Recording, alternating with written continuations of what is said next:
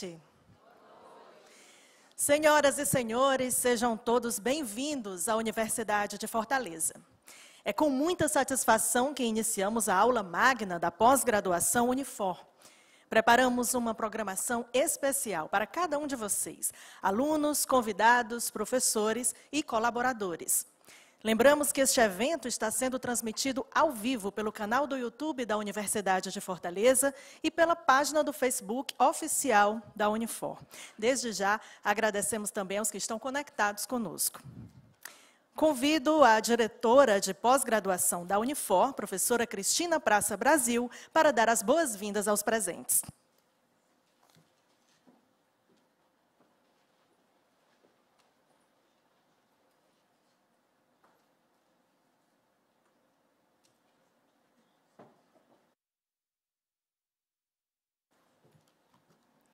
Boa noite a todos, a todas.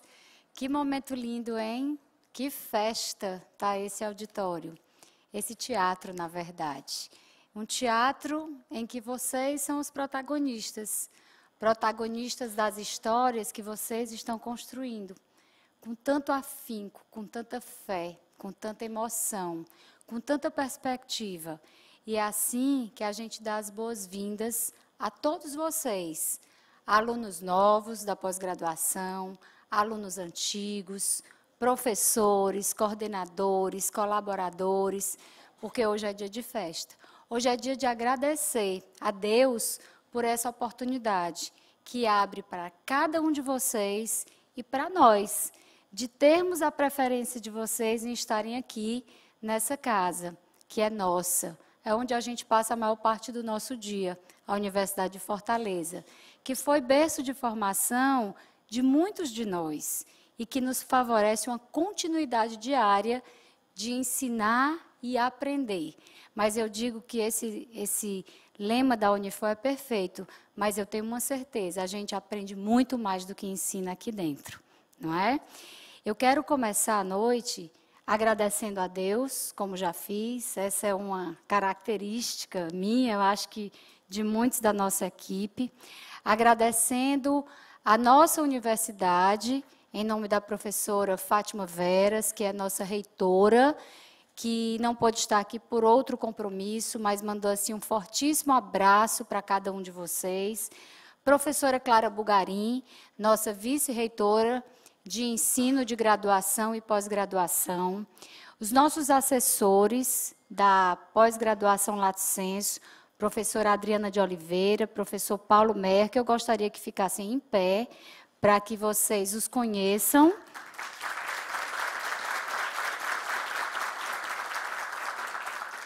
São pessoas fantásticas que estão no dia a dia com todas as emoções né, que uma gestão nos traz, que a sala de aula nos traz. Eu também queria que os nossos coordenadores de todos os nossos cursos, nós temos cinco grandes áreas na Lato Senso, área de comunicação e gestão. Queria que os nossos coordenadores se levantassem para vocês conhecerem né, cada um deles que estão aqui presentes. Obrigada. pessoal, os, os coordenadores da área de direito, por favor, também fiquem em pé.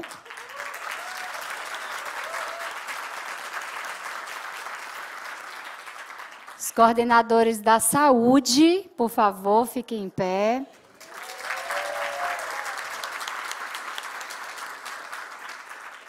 Os coordenadores da tecnologia, fiquem em pé.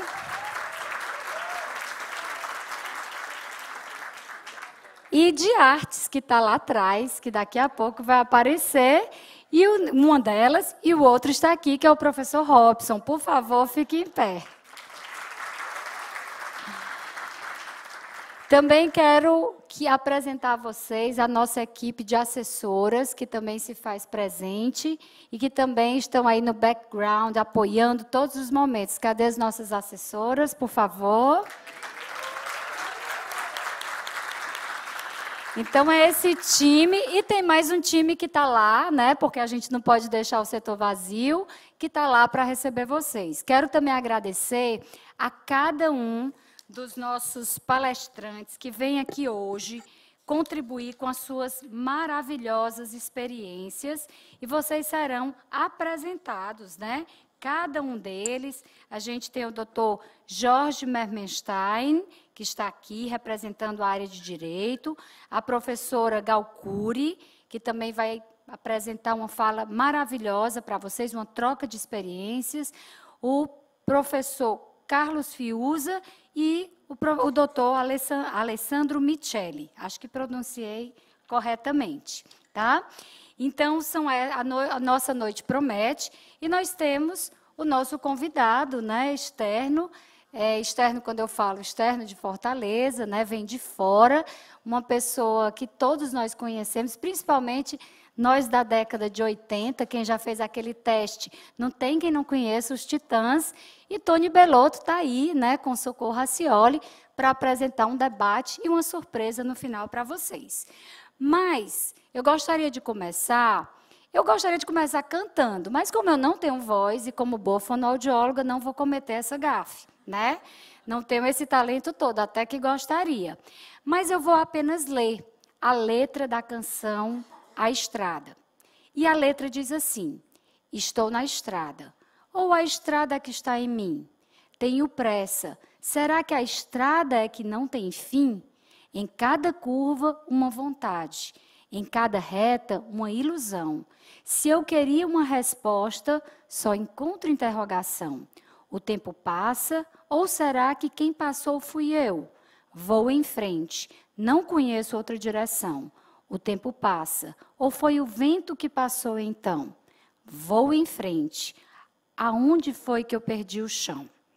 As estrofes de Brito e de Tony Belotto falam tanto deles, mas falam também de cada um de nós. Por isso a gente escolheu essa canção, pois a gente acredita que ela tem tudo a ver com esse dia e com o fato de estarmos aqui, inaugurando uma jornada numa nova estrada e é tão bom termos tantas dúvidas, né? Quando a gente percebe o caminho, porque a dúvida, ela gera curiosidade. E a curiosidade nos leva a buscar esclarecimento e a nos redescobrir, a nos reinventar, né? Isso nos faz fertilizar desejos. E às vezes nós nos confundimos com essa estrada mas somos muito mais que o caminho. Nós somos seres criativos, somos pessoas que temos a índole de avançar sempre. E é por isso que muitos de vocês estão aqui, querendo avançar nas suas carreiras, no mercado de trabalho, protagonizar, fazer a diferença e, principalmente, contribuir com a sociedade, contribuir com as empresas de vocês. E após o Unifor, está aqui para isso, para você turbinar a sua carreira, para você se redescobrir, se reinventar e evoluir. Então, gente, não esqueçam que essa estrada é única para cada um de vocês, para cada um de nós. E é por isso que nós precisamos, não precisamos seguir os passos de ninguém. Vamos seguir os nossos passos. Vamos nos espelhar nos, onze, nos, bons exemplos. Vamos compartilhar conhecimentos e experiências, tá? Porque a nossa jornada tem tudo para evoluir nesse ambiente fértil que é a Universidade de Fortaleza. Então, eu desejo sinceramente, do fundo do meu coração, que essa caminhada de vocês, nossa, junto com vocês, seja cheia de curvas e de muitas interrogações. E que ao final dessa estrada, vocês possam ter aprendido que o bom da vida é acreditar que podemos sempre aprender mais. Aprendam e redescubram a vida a cada dia. Sucesso e que Deus abençoe cada momento de vocês nessa jornada, nessa estrada que a Universidade de Fortaleza inaugura hoje. Tudo de bom. Boa noite.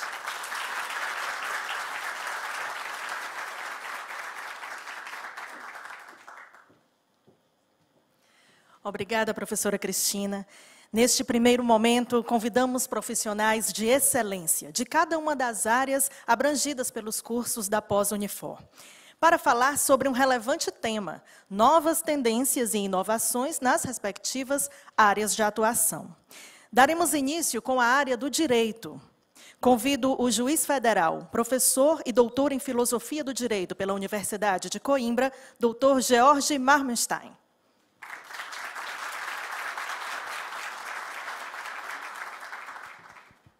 Obrigado. Inicialmente agradeço a oportunidade de estar aqui presente, falando aqui mais uma vez nesse auditório. É uma honra muito grande, sobretudo para tentar explicar aqui em poucas palavras, em poucos minutos, as novas tendências do direito e falar um pouquinho das áreas que eu tenho estudado é, envolvendo ciências cognitivas e direito, um pouco de ciências de dados e direitos, e, mais especificamente, né, tentando encaixar com o tema central da apresentação de hoje, escrita persuasiva e direito, que envolve também uma área da ciência cognitiva, que é persuasão, argumentação e estilo de linguagem. Os juristas, nós do direito, nós temos como principal ferramenta de trabalho a escrita. Né? A, o texto é o nosso ganha-pão. Nós produzimos textos diariamente. Todo dia eu estou lá sentado no computador escrevendo sentenças, escrevendo decisões, o que, em princípio, me faria um gênio da literatura. Né? Eu poderia ser considerado o melhor escritor do mundo. Porém, se a gente olhar os textos, os textos jurídicos, a gente vai ver que eles são uma porcaria. Os textos jurídicos são muito ruins, muito mal escritos. Não só falo da parte gramatical, que também já é caótico, mas a parte de estilo é broxante. Você lê um texto jurídico, não cativa, não empolga, não consegue convencer. E, o, e, no direito, o texto ele tem um impacto importante na vida das pessoas. Uma decisão judicial coloca um ser humano atrás das grades. Uma decisão judicial pode tirar uma criança da mãe, né, do pode tirar, despejar uma pessoa. Então, o impacto da palavra jurídica é muito forte, mas mesmo assim, nós não cultivamos a habilidade da escrita nós não conhecemos as, as, técnicas corretas de estilo, de criatividade, de produção de texto, e, e é isso que eu vou tentar falar aqui para vocês um pouquinho. Tem um jurista americano que diz que é, os advogados parecem que são escribas medievais sob o efeito de crack. Tamanha é a confusão dos textos, a incapacidade que ele tem de estruturar ideias, de desenvolver argumentos dentro de uma lógica coerente e de cativar, de conectar, de conseguir transformar aquelas palavras em algo que seja realmente relevante, que vale a pena ser lido. Né? Parece que o texto jurídico ele tem um, um, uma placa lá de não se aproxime, né? tamanha a dificuldade que ele se impõe para um leitor conseguir captar isso. E nos meus estudos contemporâneos de ciências cognitivas, eu tenho percebido que se o jurista não conhecer um pouco do funcionamento da mente humana, se o jurista não conhecer é, as novas tendências sobre comportamento, economia comportamental, psicologia cognitiva, psicologia comportamental, neurociência, é, jurimetria, psicometria, econometria, é, e todos esses novos campos que têm revolucionado o saber, né, e, a, e a sociedade, nós vamos ficar para trás. E a parte da escrita prova isso, a parte da escrita demonstra isso. E eu trouxe justamente o livro do Tony Bellotto né, para servir como modelo, para servir como exemplo de como nós, do direito, estamos ficando para trás numa capacidade básica que deveríamos dominar, que é a escrita. Tony Bellotto ele pega uma causa perdida. Ele pega a causa nesse livro Dom, que inclusive é uma série também da Prime, é, de um criminoso, um criminoso, confesso, um criminoso que assaltava casas, a mão armada, que jogava granada na polícia, né? não sei se o Roberto Jefferson leu este livro, né? mas ele, ele, ele, é, ele, ele seria né, tipicamente aquele criminoso que todo mundo odiaria, aquele criminoso que pega o dinheiro para gastar com drogas, com prostitutas, enfim, para fazer o mal. No entanto, nós, ao longo do livro, vamos criando empatia né, com este criminoso. A rigor, se a gente pensar, sem usar um argumento jurídico, Tony Bellotto consegue, em certo sentido, inocentar o Pedro Dom, que é o personagem principal. Não vou dizer inocentar, porque no final nós sentimos que ele é culpado, mas culpado com várias atenuantes, com várias é, justificativas que poderiam reduzir a sua pena. E ele faz isso usando o estilo de linguagem, usando a escrita criativa, a escrita persuasiva, como forma de colocar o leitor na pele do personagem. E ele faz isso também utilizando alguns efeitos de narrativa que nós do direito não conhecemos. Nós não dominamos essa técnica de estilo literário, que é é, extremamente interessante se a gente fosse pensar, por exemplo, na descrição dos fatos, que é uma componente essencial de uma petição inicial. Eu vou ler aqui um trecho bem curtinho né, da parte inicial, em que ele diz o seguinte: né, Um cerco da polícia fecha a saída do túnel Rebouças. Sandrinho Bombom freia, os pneus guincham, homens, homens bloqueiam a via armados, de escopeta e fuzis. Os dois olham para trás. A viatura que parecia desatenta se aproxima com as sirenes ligadas. Percebem que caíram numa armadilha. Depois de um instante de hesitação, Sandrinho Bombom acelera. Pedro pega a granada na mochila, arremessa. Ouve-se a explosão. Os homens da polícia se agacham. Os dois avançam pela fumaça e conseguem sair do túnel. Pedro leva um tiro no pé e outro no ombro. Sandrinho é atingido no braço. A Yamaha perde o equilíbrio depois que um pneu é furado por uma bala. Os policiais se recompõem, entram viaturas, acionam os motores. Eu, eu cito esse trecho, né, que parece ser um trecho é, bem escrito, né, de uma prosa bem conhecida de ficção, mas que ele traz aqui algumas características que nós do direito não usamos e que seriam fundamentais se a gente quisesse mudar o nosso estilo de linguagem para se transformar numa linguagem mais cativante. Primeiro, o Tony Bellotto usa aqui algo que é bem básico em termos de, é, de estilo, né, que é perspectiva. Você, você transforma o personagem é, principal no protagonista da história e a partir daí o leitor se coloca na pele dele e passa a enxergar o mundo na visão dele. Segundo, usa muitos recursos visuais e auditivos, que são os dois principais recursos cognitivos da mente humana. A mente humana processa muito mais informações visuais é, e, quando vai ler, ele transforma aquilo em sons e se a gente aproveitar isso na nossa escrita, na escrita jurídica ou na escrita profissional como um todo, isso transformará a nossa escrita em algo muito mais potente, porque nós vamos estar potencializando o cérebro, o cérebro do leitor para receber e entender a mensagem. O, o Tony Belotto também trabalha nessa passagem com maestria a questão do ritmo, da estrutura da frase. Existe um princípio básico de linguagem, eu não sou especialista nessa área, mas que se você quiser dar um tom de dramaticidade, faça como ele fez aqui, frases curtas, verbos fortes, é, apelo ao visual, apelo ao som, né, apelo ao cheiro, aos sentidos como um todo. E a partir do momento que ele dá essas pausas constantes, né, com, com, é, com, palavras fortes e que vão é, dando um tom de velocidade mais rápida, o leitor se empolga e entra na cena. Né? Isso faz com que a mensagem seja recebida como uma situação dramática. Mesmo que a gente não né, saiba exatamente o que aconteceu, a gente sabe que houve alguma coisa bem dramática nessa cena. Isso é um estilo de linguagem que, que, se a gente quiser transformar o texto em algo mais emotivo, mais dramático, isso poderia ser feito. Se a gente quiser, por outro lado, defender uma visão mais tranquila, mais relaxante, use frases mais longas, use é, recursos para dar uma pausa maior na leitura, para não ser um ritmo tão acelerado. Os escritores profissionais fazem isso com frequência, e não é difícil, não é difícil. Se nós soubéssemos como funciona a mente humana, como funciona a mente do leitor, é, e como funcionam as técnicas de persuasão, de convencimento, certamente nós teríamos muito mais é, habilidades e as nossas ferramentas, né, enquanto profissionais, enquanto juristas, enquanto é, escritores como todo, que todos nós somos escritores de algum modo, seriam muito mais afiadas. Então eu termino aqui com essa mensagem para dizer que é fundamental o profissional de hoje, em qualquer área, mas no direito em particular, buscar uma polinização cruzada. O que é, que é essa polinização cruzada? A polinização cruzada é quando você aproveita vários campos do saber para aplicar e transformar isso em habilidade na sua área. Uma vez que você domina, por exemplo, a escrita, a escrita criativa, a escrita persuasiva, e utiliza isso, por exemplo, no direito, você tem uma habilidade que poucas pessoas possuem.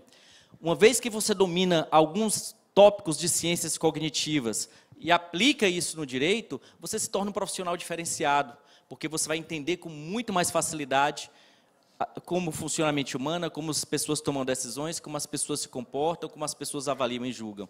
Infelizmente, nós ainda não chegamos a uma maturidade suficiente para aceitar isso como algo é, natural e espontâneo.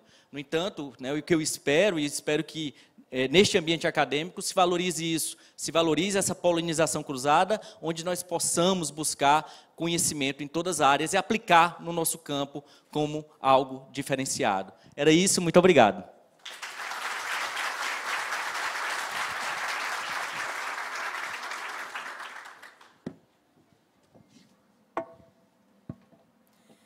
Passaremos agora para a área de gestão. Convido a consultora de marketing, palestrante, facilitadora de treinamentos, professora universitária com mais de 25 anos de atuação no mercado, com foco em marketing estratégico, branding e inteligência de mercado. Professora de pós-graduação da Unifor desde 2004 em várias disciplinas. Mestre em administração. A professora e publicitária Gal Cury.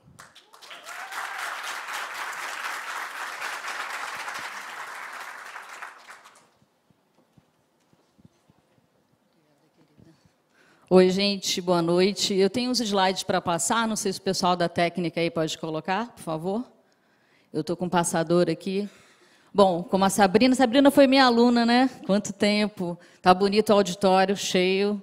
Um prazer estar aqui, uma honra. Confesso que estou um pouquinho ansiosa e nervosa. Imagina, né? Depois de quase 20 anos em sala de aula, mas é sempre emocionante estar aqui para falar para tanta gente. Obrigada, professor Paulo, pela honra de estar aqui representando o CCG, que é o Centro de, de Comunicação e Gestão. Né? Eu dou aula aqui desde 2004, né? tem quase 20 anos que eu estou aqui em sala de aula, já passaram aqui alguns bons milhares de alunos pelas minhas salas de aula. Eu costumo dizer, dá para, eu tenho que passar aqui? Desculpa, gente, só não sei como é que está aqui. Não, desligar não, socorro, volta. Bom, vou começar aqui. Eu gosto de dizer que a comunicação e a gestão talvez sejam áreas que sofreram né, as mudanças mais significativas, disruptivas e radicais da última década. Pensem aqui comigo. Como é que a gente se comunicava há 10 anos atrás? Como é que a gente trabalhava? Como é que a gente via o mundo há 10 anos atrás? Completamente diferente, não é? Então, assim, a gente que trabalha, imagina, quando eu me formei lá na PUC do Rio, há mil anos atrás, né? Falavam para a gente que tinha cinco áreas da comunicação. E hoje? O que, que a gente pode chamar de comunicação? Tudo é comunicação. E esse casamento da comunicação com a gestão é perfeito. A comunicação é desde como alguém atende o telefone e fala olá, bom dia, um emoji, uma hashtag, tudo isso é comunicação. E a maneira como a gestão integra a comunicação no processo, isso é fundamental. E aí, é, a gente tem na, em vários cursos aqui, né? A gente tem cursos que falam sobre essa interdisciplinaridade da comunicação e gestão, é muito bacana. E outro dia eu estava em sala, na semana passada, e a minha disciplina chamava Neurociência, Comunicação e Branding. Aí você fala, nossa, vai falar sobre tudo isso numa disciplina só? Então isso é muito bacana, né? Para quem está começando após. Sejam muito bem-vindos e entendam o seguinte: após você sentar numa cadeira, não é só para você estudar conhecer outras pessoas, conhecer outras vivências, tem fazer um networking fantástico também. Eu estava comentando aqui, é, eu estava na minha outra disciplina, né? Esse ano eu já dei várias disciplinas, eu dou aula em vários cursos lá do CCG. E lá na minha, no meu, na minha, estava dando aula na gestão empresarial. Para vocês terem uma ideia, na sala de aula tinha uma nutricionista, um engenheiro de produção, pessoas da administração, pessoas de várias áreas diferentes. Gente, isso não tem preço, isso é muito rico. Então aproveitem isso também, porque aquelas trajetórias se encontram na sala de aula e produzem um ambiente muito rico para a gente aprender. Né, eu sempre gosto de falar isso sem ser piegas, mas o slogan da Unifor é fantástico, ensinando e aprendendo. A gente ensina e aprende mesmo em sala de aula. Não vão me deixar passar meus slides tão lindos que eu fiz. A comunicação tinha que ter slides bonitos, né? Se me ajudarem aí. Alguém da técnica, socorro, não, mas continuando aqui falando. Então, quando, é lá na, no, na comunicação e gestão, ah, eu passo aqui?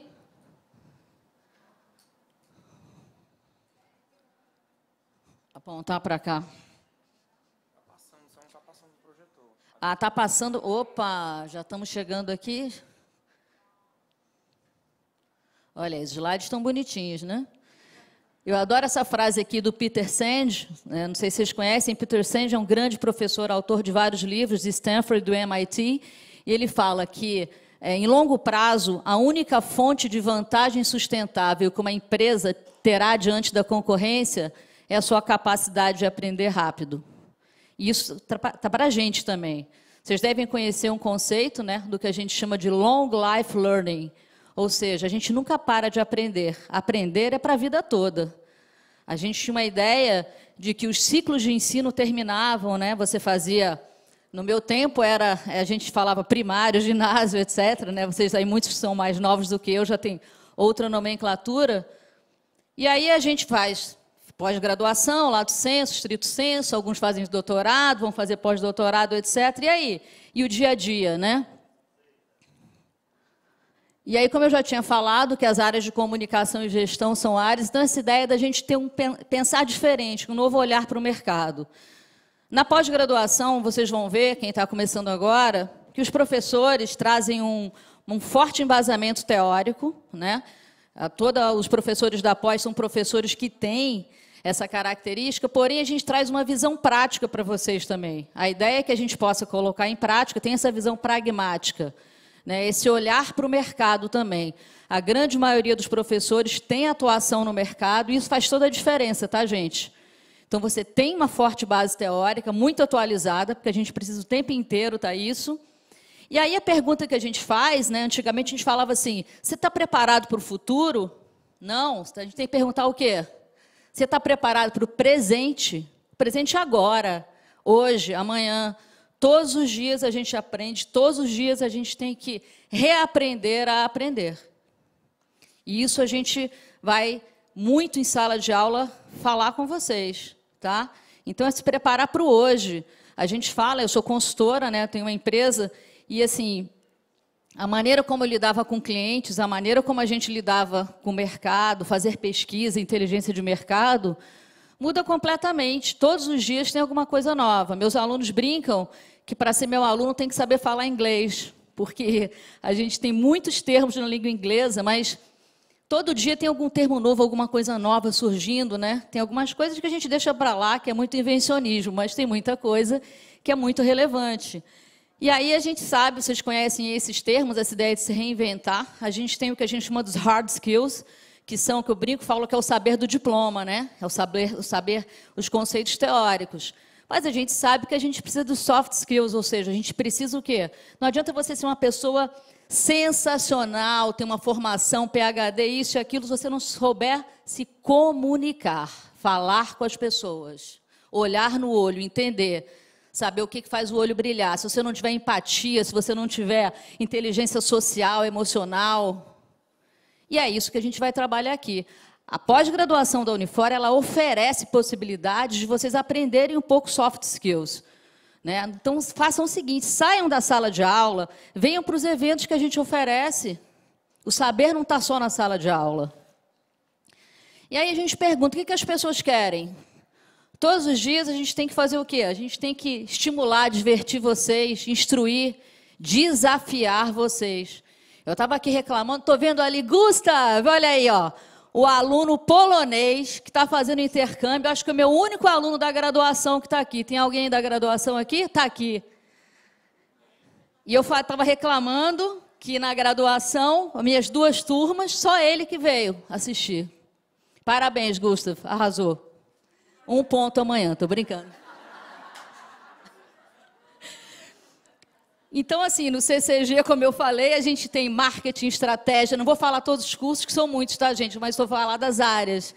A gente tem marketing, estratégia, comunicação, empreendedorismo, inteligência de mercado, gestão comercial, empresarial, controladoria, finanças, marketing digital, moda. É muita coisa bacana, né?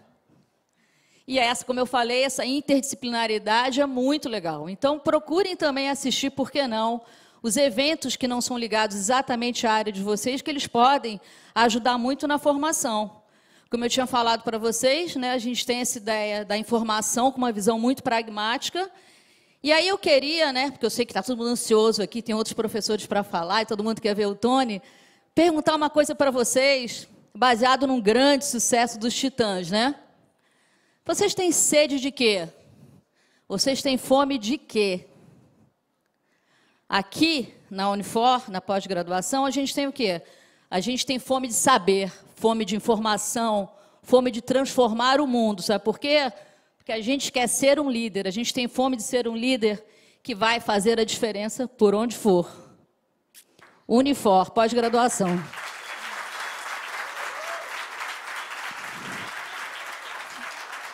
Obrigada e espero vê-los na sala de aula. Quem é vai fazer aula no CCG? Ninguém? Puxa, mas vai lá me assistir, né? Estou brincando. Tchau, gente. Obrigada.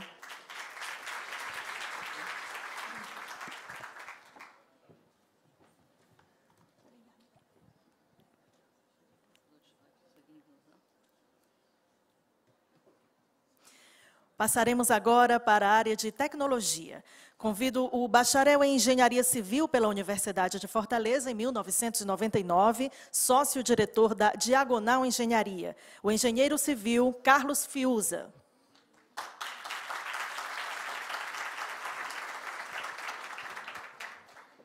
Bem, boa noite a todos. É, agradeço aqui o convite do professor Marcos Miranda, coordenador do curso de Gerenciamento de Projetos. E Marcos, você não, eu não sabia que você ia me botar numa boca quente dessa aqui não, viu? Mas olha, vai ter lá uns palestrantes bacana e tal. Aí eu digo, só professor aqui escolado, todo mundo falando, né? E eu vim aqui falar sobre engenharia, sobre é difícil aqui, né? Mas vamos lá, eu trouxe uma pesquinha aqui para tentar e eu até devia ter trazido uns slides também, pelo menos mostrar umas fotos de uns prédios bacanas da gente, né? Dava para enrolar aqui com alguma coisa. Mas vamos lá, gente. Eu acho que falar aqui um pouco da gente, eu, assim, de novo, eu não sou professor, sou engenheiro, formado aqui na Unifor, minha vida toda dentro da área técnica, então, assim, eu acho que o que a gente pode falar um pouco é da nossa experiência, né? Falar um pouco do que a gente viveu. É, sou engenheiro civil, tenho 48 anos, sou né, da Diagonal, entrei na Diagonal logo no, no primeiro ano de faculdade, como estagiário, percorri toda a minha trajetória lá dentro da Diagonal. E acho que falar um pouco da minha trajetória, acho que é da própria Diagonal, porque nós somos uma empresa familiar. Dos 40 anos de empresa, eu estou lá há 30. Né? E percorri estagiário, engenheiro, passei 10 anos dentro de, de, de obra mesmo, tocando as obras. Depois que eu fui para a área, para a diretoria, diretor técnico, diretor superintendente e atualmente né, sócio-diretor. Mas, assim, a, a, o nosso DNA da Diagonal, ele sempre foi um DNA. Me pediram aqui para falar um pouco sobre tecnologia, sobre inovação e falar também sobre a necessidade da gente sempre estar tá buscando o aprendizado, o conhecimento, né? E eu acho que, assim, falar um pouco da nossa trajetória nesse sentido é de que, assim, o nosso DNA da Diagonal sempre foi um DNA de inovação, sempre buscar fazer coisas diferentes, sempre de fato fazer buscar fazer coisas diferentes, né? de, de, de, de, trazer algo, de surpreender o, o, os nossos clientes com coisas inusitadas. Então, assim, a gente começou pequeno, uma empresa, né, o João, meu sócio, que é meu tio, começou com obra pequena, reforma, loja, é, é, é casa, depois passou para a indústria, e depois, ao longo dos 40 anos, a gente foi se especializando em fazer empreendimentos de alto padrão. E nesses empreendimentos de alto padrão, a gente sempre teve uma, uma, uma premissa de sempre a cada projeto trazer algo novo. Então, a gente sempre tinha que trazer algo que nunca ninguém tinha feito em algum projeto. Então, nossos projetos sempre foram ah, vamos fazer o maior prédio, o prédio mais alto, o prédio com o maior número de vagas de garagem, o primeiro com L ponto, o primeiro com 50, piscina de 50 metros. Né? Estamos agora fazendo o primeiro e segunda moradia, o, atualmente a gente está fazendo o primeiro do Nordeste é, da marca Pininfarina. Pininfarina é uma boutique italiana que faz os designs do carro da Ferrari, da Bugatti e tal. Então a gente vai ter um prédio aqui em Fortaleza assinado pela Pininfarina. A gente vai ter um prédio da House, que é uma outra operação de, que paga renda para os investidores através de, uma, de um prédio um embarcado com muita tecnologia um residencial que opera como hotel que paga renda para os investidores, então Bandeira House. Então assim, a gente sempre buscou fazer essas inovações. A gente em 2015, com a crise, a gente teve que se reinventar, né? Estava o mercado imobiliário completamente estagnado e a gente teve que ir atrás também de de, de, olhar para fora. Eu acho que essa história do aprendizado, de você buscar conhecimento, é sair do seu lugar, olhar para fora, ver o que é que pode ser feito, o que é que pode ser fazer diferente, o que é que você pode contribuir né, na, na, sua área. E a gente sempre teve esse olhar. O que é que a gente olhava para fora para ver o que é que a gente podia trazer é, e inovar nesse sentido.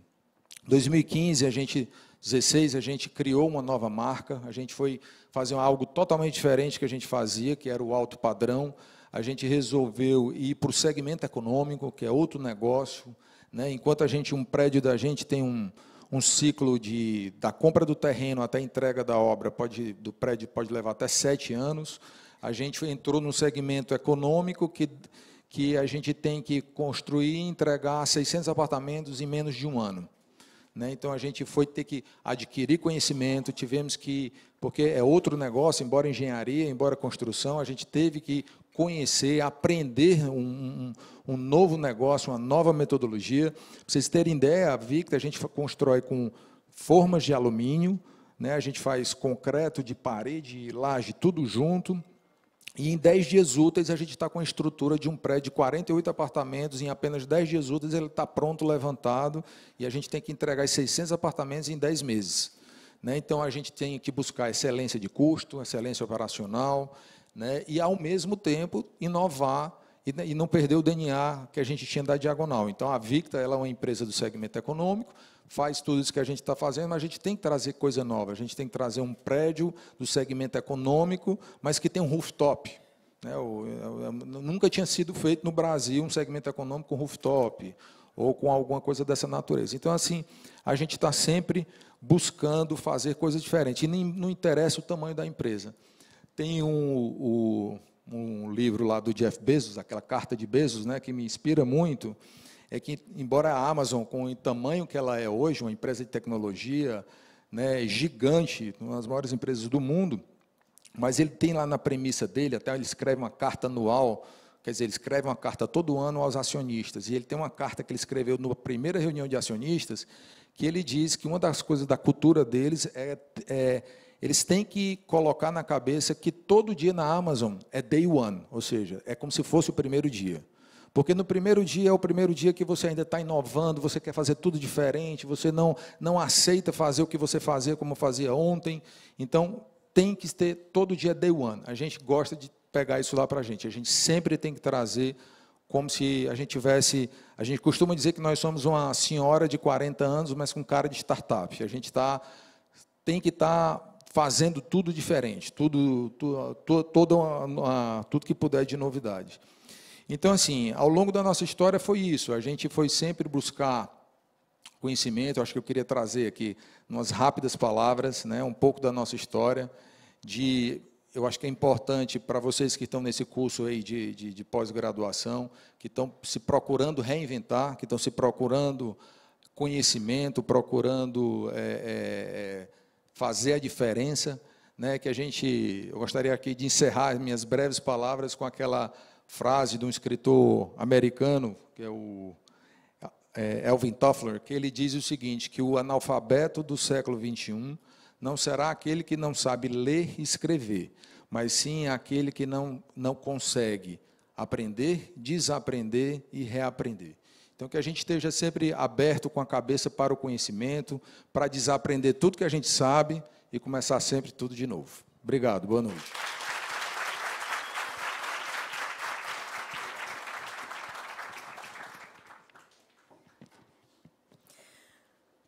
Para falar sobre novas tendências e inovações na área da saúde, convido o superintendente da presidência da Unimed Fortaleza.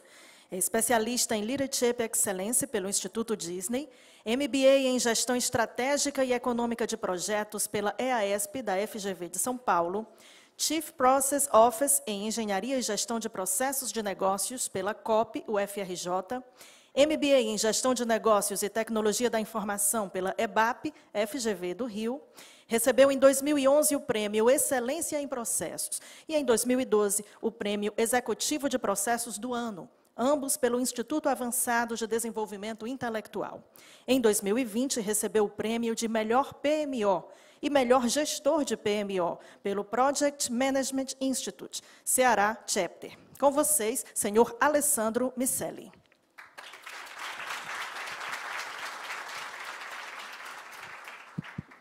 Faço aqui as minhas palavras, as suas palavras. Desafio aqui, absurdo, né? Absurdo. Bom, pessoal, É, primeiro eu quero agradecer a Unifor, aqui representando a Unimed Fortaleza. É, então é um prazer, é uma honra muito grande.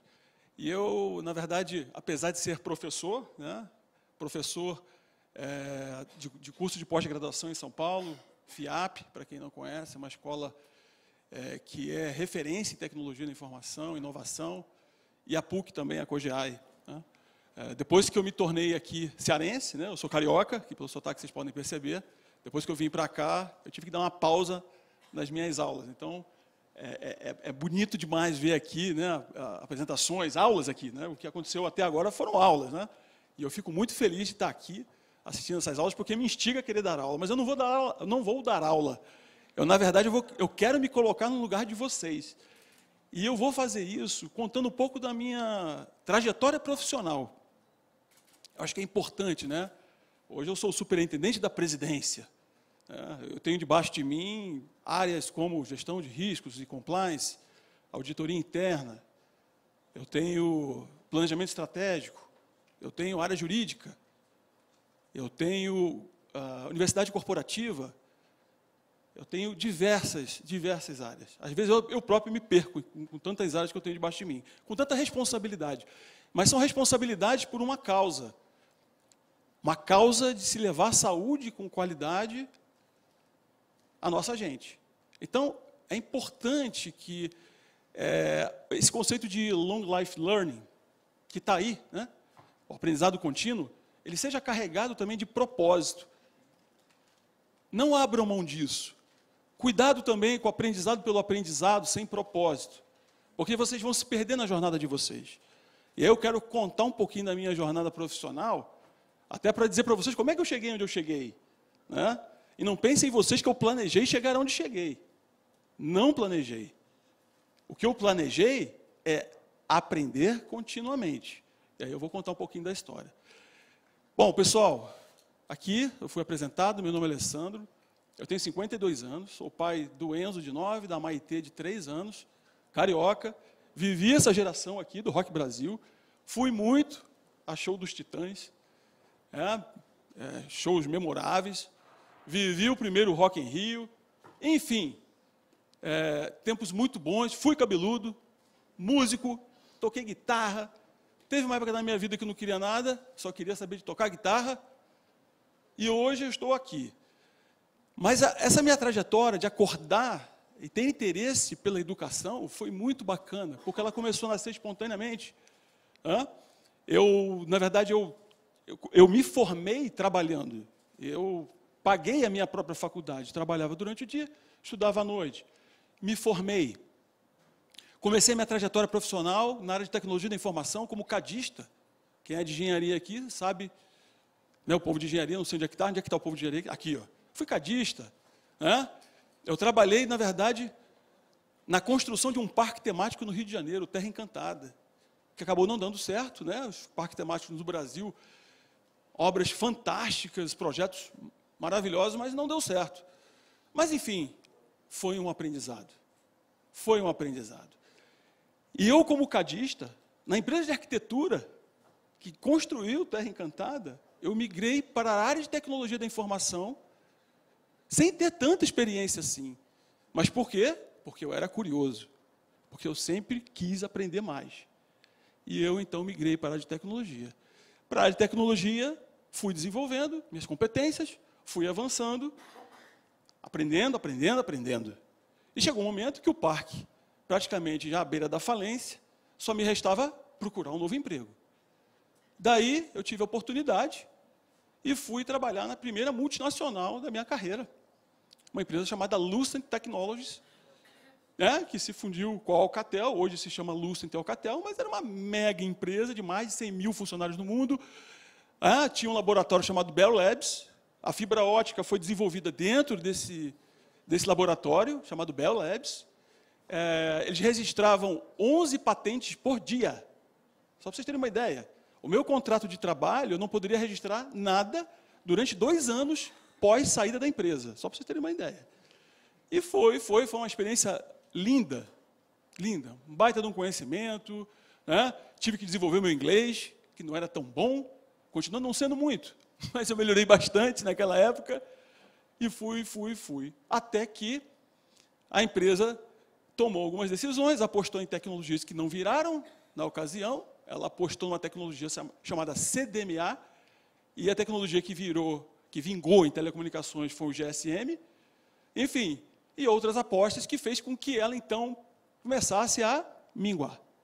Uma gigante que mingou. Fechou as portas no Brasil e, e eu então saio dela e vou para uma operadora de, de telecomunicações chamada Vesper. Não sei se chegou até Vesper aqui? Pois é, trabalhei na Vesper. Sempre aprendendo. E aí eu fui trabalhar na área de infraestrutura, produção e operações da Vesper. Sempre aprendendo. Olhem isso, sempre aprendendo. Feito isso, eu me deparei né, é, é, é, em uma situação totalmente atípica. Né? A Vesper sendo vendida para a Embratel, que estava sendo vendida para a Telmex, do mexicano, do caso do Slim. Né? E eu já tinha migrado para a Embratel, então eu já estava na Embratel. E a empresa sendo vendida. E aí então eu vou para o setor elétrico. E aí foi uma jornada de 10 anos no setor elétrico, aonde eu fui superintendente. Né? Então eu já dei um salto, né? o meu crescimento profissional, por necessidade de aprendizado, por querer aprender. Me apaixonei por temas que hoje já não se fala tanto, gestão da qualidade. Você quase não ouve falar mais de gestão da qualidade. E na época se falava muito. ISO 9001, né? E e tantas, e, e tantas outras é, é, práticas de gestão que hoje estão um pouco afastadas. Mas foi a minha base, foi a minha essência. Essa foi a minha, a minha base para a gestão, que hoje cada vez se fortalece mais. Então, eu passo por quase 10 anos nessa empresa, nessa holding do setor elétrico. Ela era, era tão grande, pessoal, que ela tinha, é, como se ela tivesse aqui, é, nove Enels aqui, Coelce. Ela tinha nove distribuidoras de baixo. Então, foi um mega aprendizado, foi muito bacana, muito desafiador e tudo mais. Muito bem. E, depois desses dez anos, eu então, meu filho está para nascer, e eu resolvo voltar para o Rio de Janeiro. Eu falei, quero voltar, quero, eu fiquei esse tempo todo em São Paulo, vou voltar para o Rio de Janeiro. No que eu voltei para o Rio de Janeiro, eu recebo o convite para trabalhar, então, no maior dos projetos, dos mais importantes pelo menos aos olhos do mundo, que é o projeto da Rio 2016. E eu fui trabalhar junto ao Ministério do Esporte. Então, eu representava o Ministério do Esporte no Rio de Janeiro, interfaceando com prefeitura, governo e tudo mais. Pessoal, eu poderia ficar um dia inteiro falando de Rio 2016 aqui para vocês, infelizmente não vai dar tempo. Mas foi uma experiência única pelos dois lados, pelo lado positivo e pelo lado negativo. Tá certo? Em alguns momentos até o lado negativo superou o positivo. Mas no final, deu certo o projeto e a coisa foi bem. Legal. Nesse ínter, então, fui convidado para ir, voltar para São Paulo, agora no Grupo Notre Dame Intermédica. Aí eu entro na área da saúde. É um setor, era um dos poucos que eu não tinha passado, né? Eu passei por telecomunicações, energia, saúde.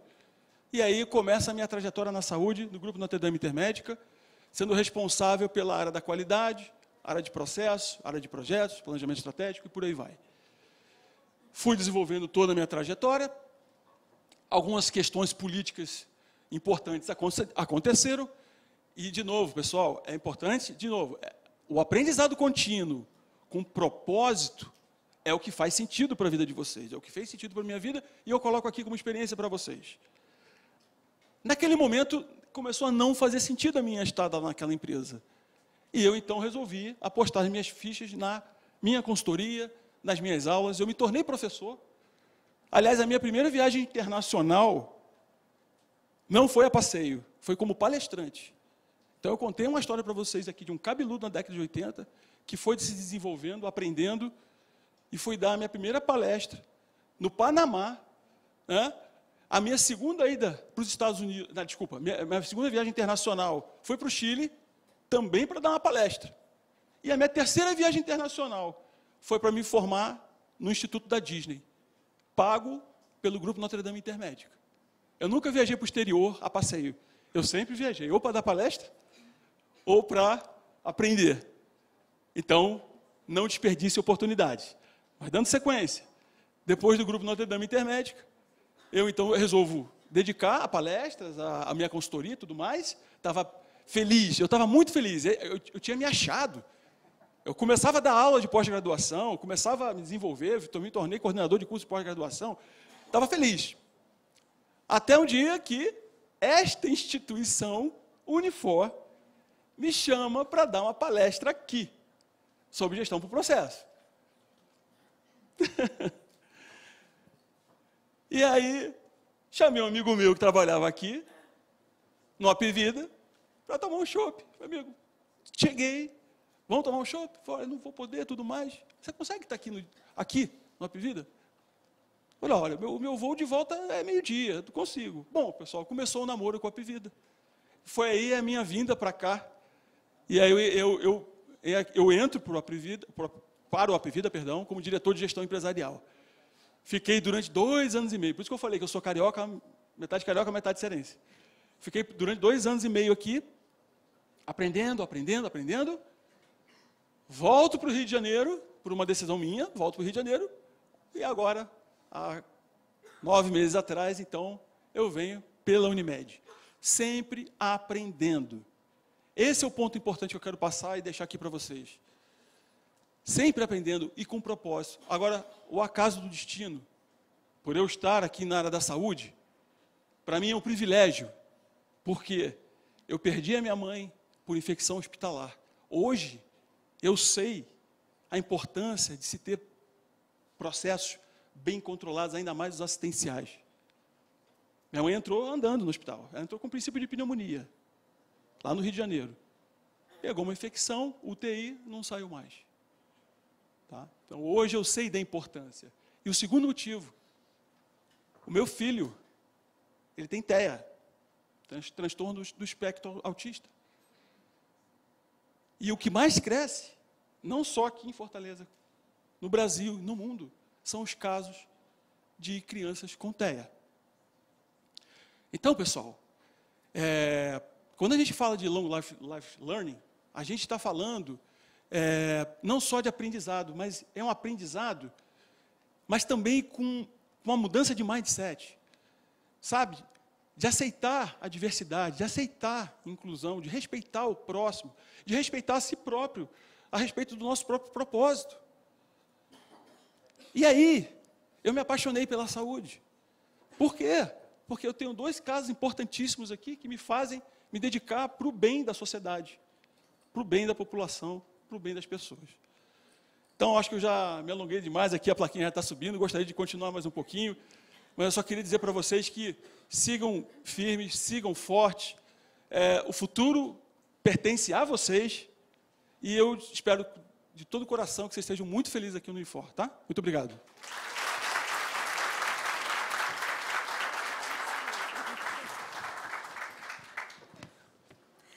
Agradecemos aos profissionais que contribuíram com seus conhecimentos e enriqueceram ainda mais este evento.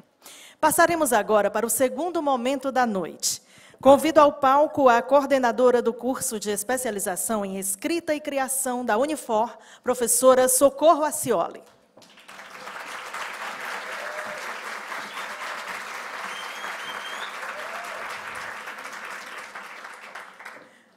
Vou fazer a leitura brevemente do currículo da professora Socorro, jornalista, formada pela Universidade Federal do Ceará, PhD em Estudos de Literatura pela Universidade Federal Fluminense.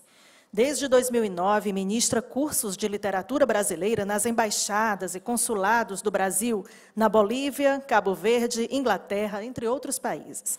Venceu o Prêmio Jabuti da Câmara Brasileira do Livro em 2013. Foi aluna de Gabriel Garcia Marques no curso Como Contar um Conto, na Escola de Cinema de San Antônio de Los Baños, em Cuba. Foi uma das 30 artistas convidadas pela Bill e Melinda Gates Foundation para o projeto Art for Saving a Life, com o texto Drops from a Hero. A edição americana foi finalista do Los Angeles Times Book Prize 2017 e escolhida como um dos 50 melhores livros de 2017 pela New York Public Library.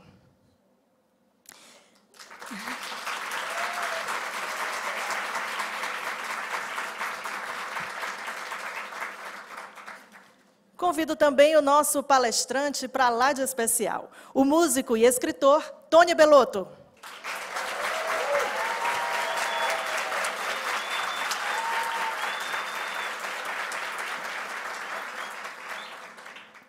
Antônio Carlos Liberale Belotto mais conhecido como Tony Belotto, é músico e escritor brasileiro, conhecido internacionalmente por ser guitarrista e compositor da banda de rock Titãs, desde a sua criação nos anos de 1980, sendo um dos três membros remanescentes da banda, que já foi um noneto.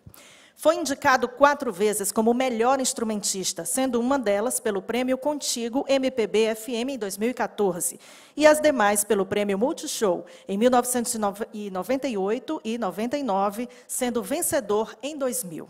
Além da carreira musical de sucesso, Tony Belotto também é escritor, especializado no gênero policial. Já lançou quatro romances com o investigador Bellini, Bellini e a Esfinge, de 95, Bellini e o Demônio, 97, Bellini e os Espíritos, 2005, e Bellini e o Labirinto, de 2014. Também escreveu BR 163, Duas Histórias na Estrada, em 2001. O livro do guitarrista, 2001 também. Os Insônias, 2007. No Buraco, 2010. Lô, de 2018, Dom, 2020, entre outros. Em 2001, o diretor Roberto Santucci Filho adaptou o filme, adaptou o livro e filmou o romance policial de autoria de Tony, Bellini e a Esfinge. Daremos atenção agora a um bate-papo com o tema A importância da escrita criativa nas conexões profissionais. Informamos que os que desejarem fazer perguntas ao final do bate-papo podem solicitar os papéis para as nossas recepcionistas. E no final, a professora Socorro terá prazer em ler as questões de acordo com o tempo. Passo a palavra, então, para a professora Socorro Acioli.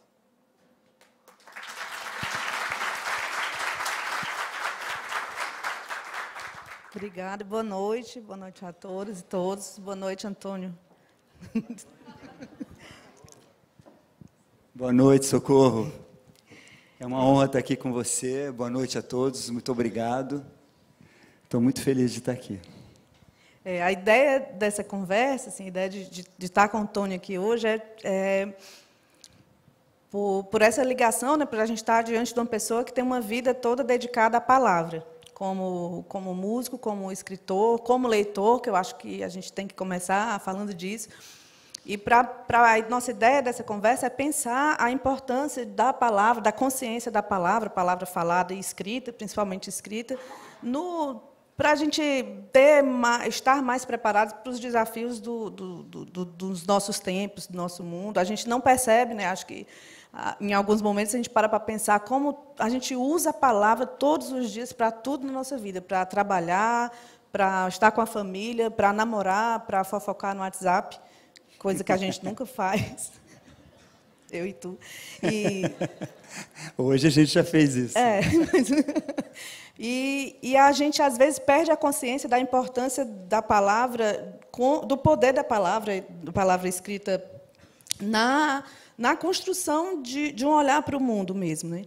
E aí eu queria começar falando disso, Tony, do teu olhar para o mundo, quando criança, esse Tony criança, pequenininho, e leitor, como é que esse teu olhar para o mundo e para a palavra foi se moldando pela leitura e pela música ao mesmo tempo?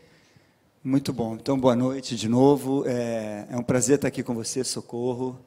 Você é uma grande escritora, uma professora excelente, uma amiga muito querida. E você tem razão. Eu acho que assim as pessoas falam, né? Eu sou músico, tal, mas a minha ligação com a música também sempre, tava, sempre teve muito ligado à palavra, porque a música que a gente faz é a canção, né? Eu acho que os Titãs é, têm essa, esse cuidado, assim, e, e, por isso a gente se destacou tanto pela construção das letras, e, e porque a canção é, um, é um, um, formato muito interessante, né? Porque é a palavra cantada.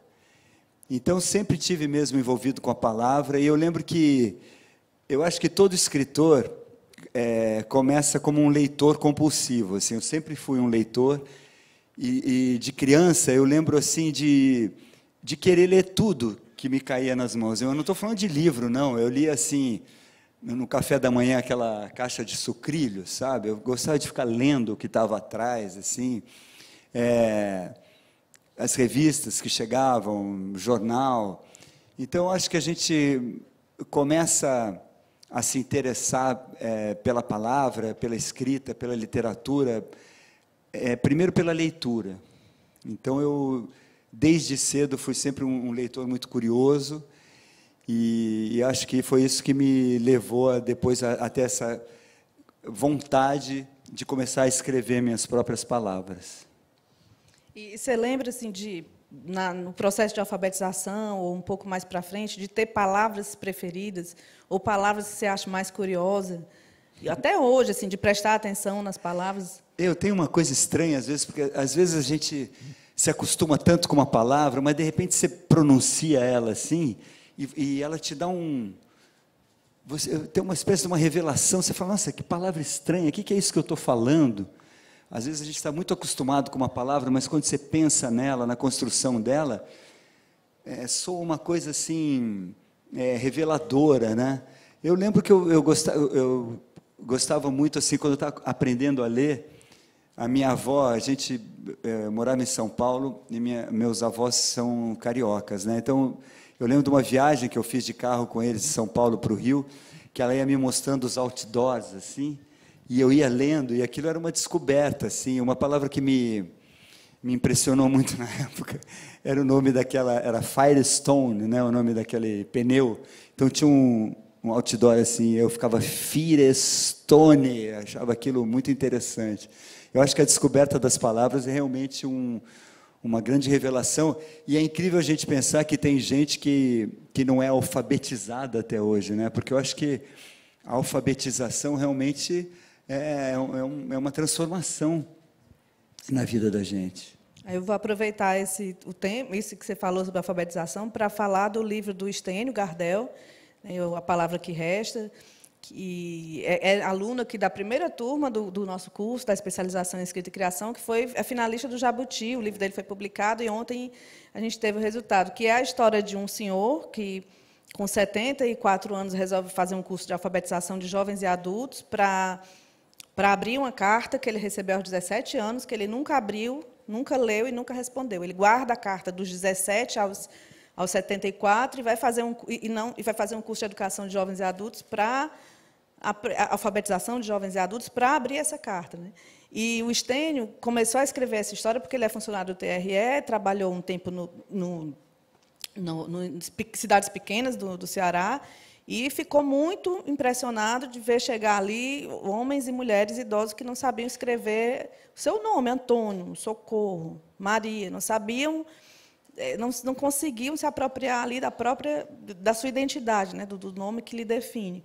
E, e isso, assim, já fazendo aqui uma ponte com outra pergunta, é a vida que é a matéria da literatura. Né? São, em geral, os, os escritores buscam essas vivências e essas histórias que, que impressionam para escrever. E todos nós temos na, na nossa nas nossas experiências essas coisas essas histórias essas pessoas que inspiram para escrever você tem na, na tua escrita você tem é, é, lembrança? Pode dizer alguma situação em que você se inspirou, em uma pessoa que você conheceu? Eu acho que tem muitas, mas eu acho interessante isso que a gente tem uma tendência a pensar, né, que é, as histórias da vida é, podem render boas histórias escritas. Mas é muito interessante que às vezes a gente diz assim, nossa, ou você ouve alguém dizer, nossa, minha vida daria um livro, é, só que é muito interessante que no momento de você passar essas coisas para escrita, não é assim, né? É, às vezes você acha que, que tem uma grande coisa para ser dita e quando você senta para escrever aquilo, não acontece, ou acontece de uma maneira diferente.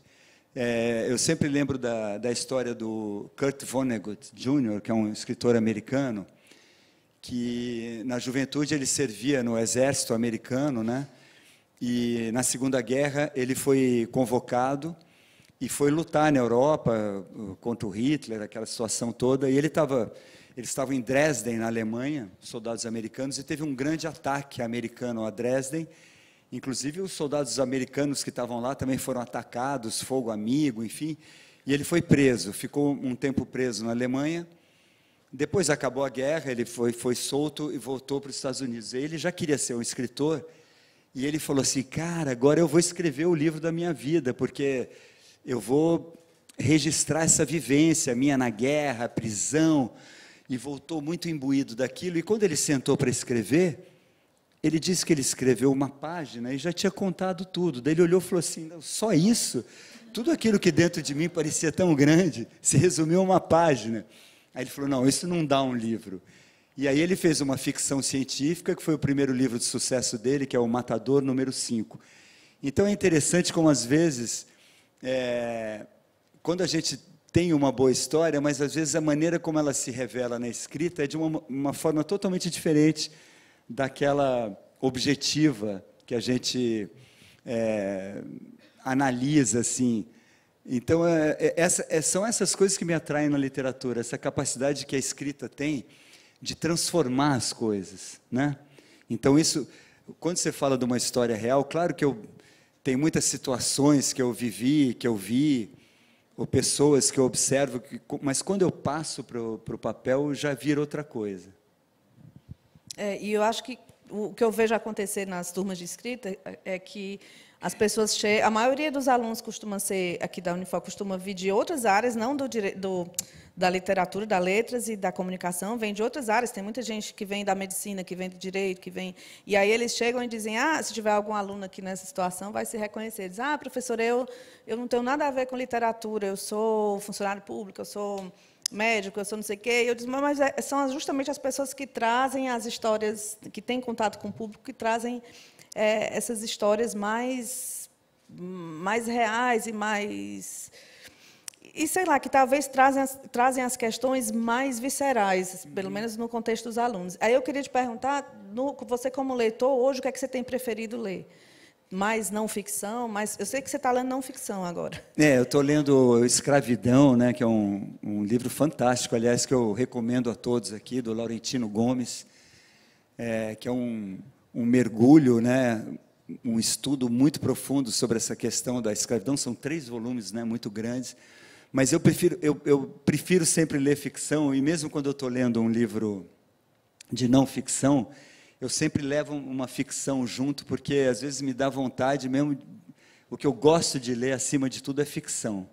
Eu acho que tem uma uma, uma magia mesmo que acontece na ficção que nenhuma outra forma de escrita consegue proporcionar.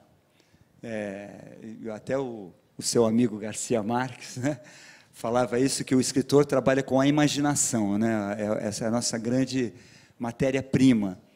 Então isso me atrai muito. Então sempre preciso ter um livro de ficção. Estou sempre lendo. É, o último que eu li, que me impressionou muito, foi um livro do Sam Shepard, daquele escritor americano que morreu recentemente, que era um ator também, dramaturgo. E ele escreveu um romance muito interessante também no fim da vida, assim, muito revelador, sabe? É, é engraçado isso que você fala, porque a gente vê muitas vezes que até na, em terapias assim de, de psicanálise, terapias de, de, de, patologias psicológicas, muitas vezes se usa a escrita também para a pessoa conseguir, às vezes, revelar alguma coisa que ela não consegue revelar falando. Então, a, a escrita tem esse sentido também de organização, né?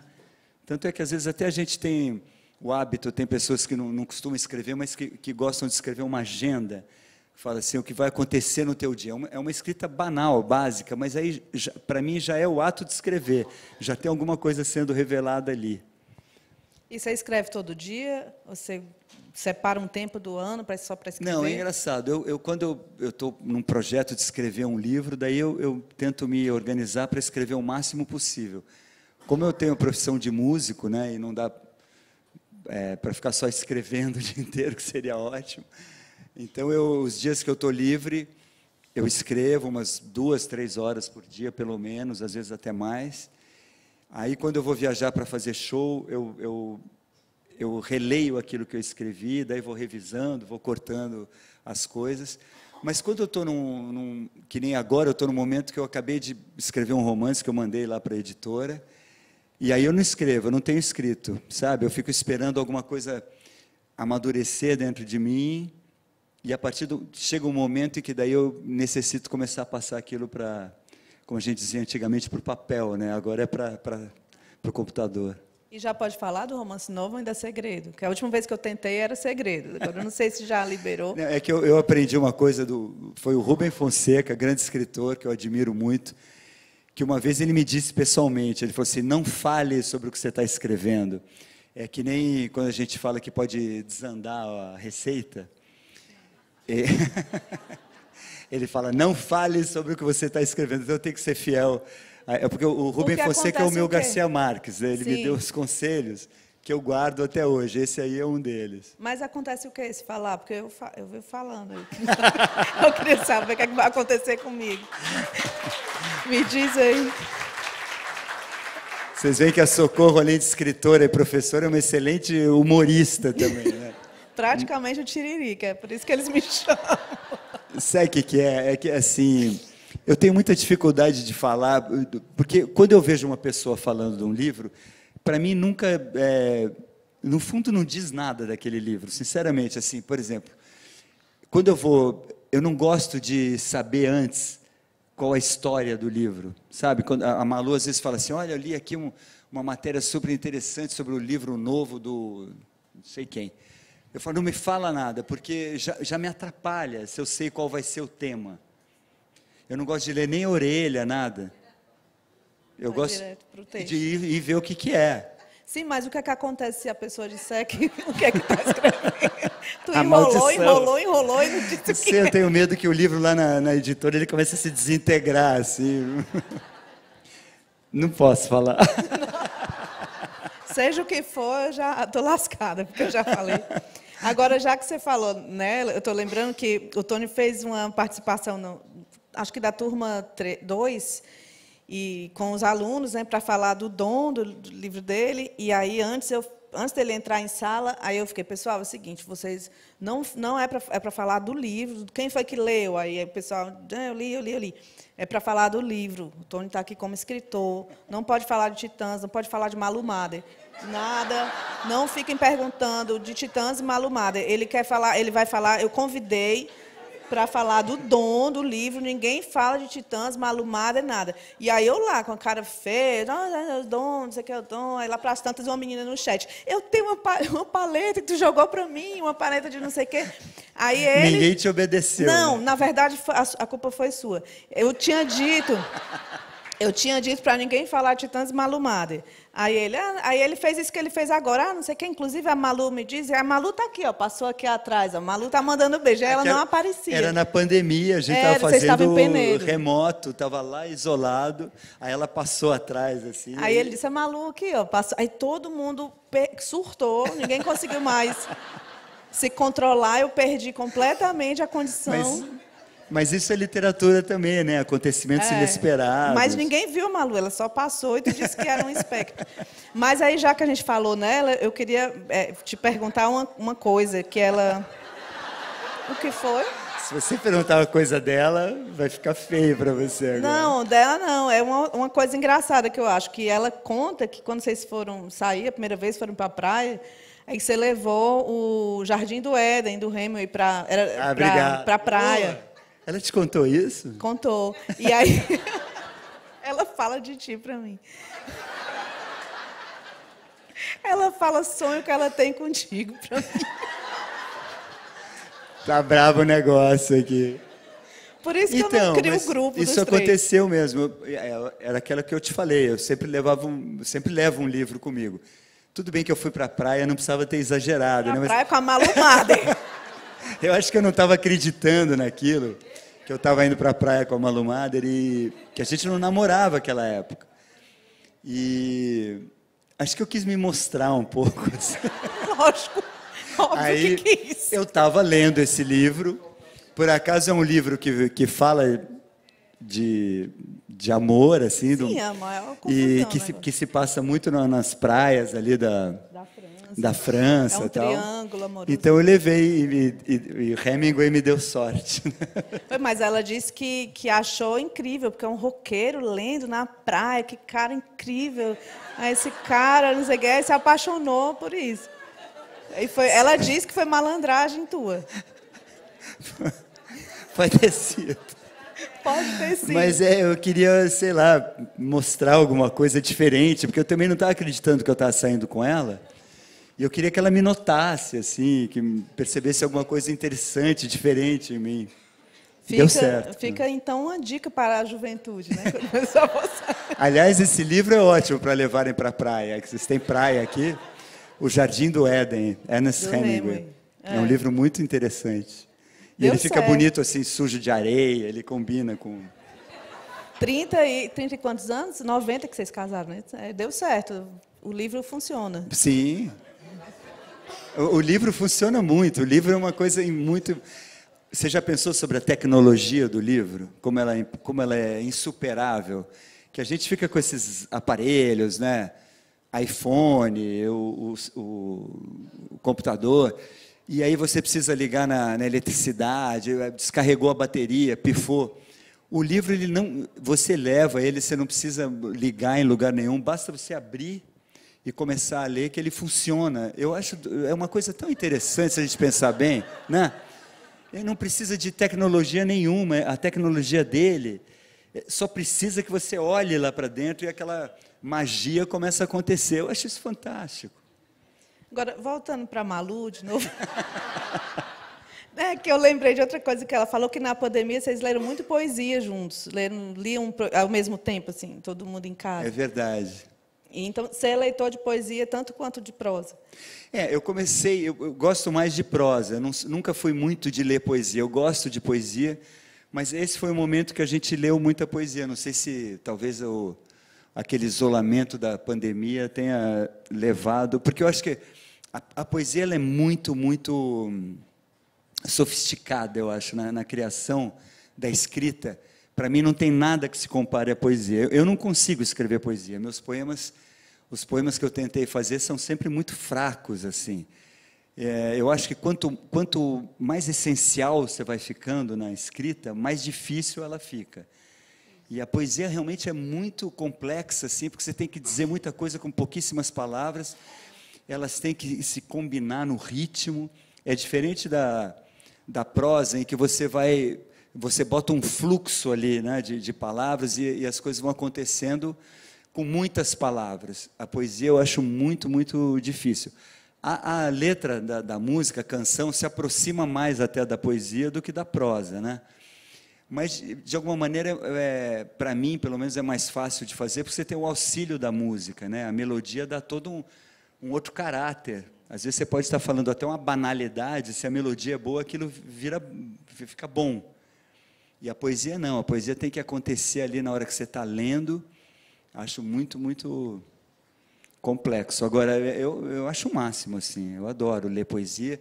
E, e tem, a gente tem um grande poeta brasileiro, que é o Paulo Leminski, que eu tive o prazer de conhecer, ele era fã dos Titãs.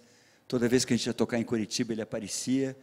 E, e é, é uma leitura que eu recomendo muito. Assim, o, o Paulo Leminski ele tem um, esse livro, toda a poesia dele, né, que fez muito sucesso. É tipo um oráculo. Assim, você deixa do lado da, da cama, você abre, ele tem sempre uma poesia é, que vai te dizer alguma coisa que precisa ser dita. É, e, e eu acho que você também viveu muito isso, de pensar a poesia, a letra de música e a prosa por, pelo programa, pelo Afinando a Língua. Né? Você recebeu muita gente incrível para falar Sim. sobre literatura. Me fala um pouco das. Assim, você lembra de, de, de momentos É, esse programa foi muito legal, assim, eu fiz durante muitos anos. E essas entrevistas conheci muita gente, mas o- justamente o cara que mais me impressionou foi um poeta, foi o Ferreira Goulart. E o poeta maranhense, né?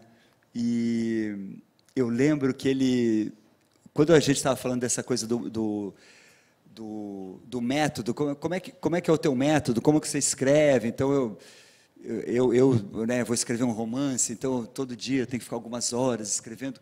Quando eu perguntei para ele do método dele, ele falou assim: Eu não tenho método nenhum. Ele falou: Ele falou, a poesia não pode ter método. Ele falou: O poeta não pode ir para o escritório e dizer: Agora vou escrever uma poesia. Ele não acreditava nisso. Ele falou assim: A poesia tem que acontecer para mim. Eu tenho que estar andando na rua e de repente ele tropeça assim numa, numa pedra na calçada e aí pum, ele veio uma ideia. A partir dessa ideia que nascia de um acontecimento cotidiano, aí sim ele ia para o escritório e começava a trabalhar um poema. E achei assim maravilhosa essa. Eu acho que os poetas são muito diferentes dos, dos romancistas e dos contistas assim. Eu acho que toda a estrutura de composição é muito diferente. Talvez a poesia se aproxime até mais da música, uma música pura, assim, os compositores de música, assim.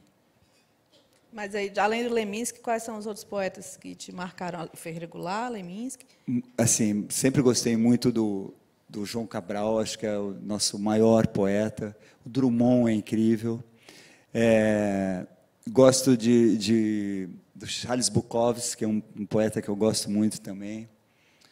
É, ah, vários poetas, aqueles poetas dos anos 70, eu falei do, do Leminski, Ana Cristina, César, esses poetas dessa, dessa época mais rock Cacaso. and roll. Cacaso, o Chacal. O Chacal, e tem o Torquato Neto, que tem a história. É, o Torquato, nossa.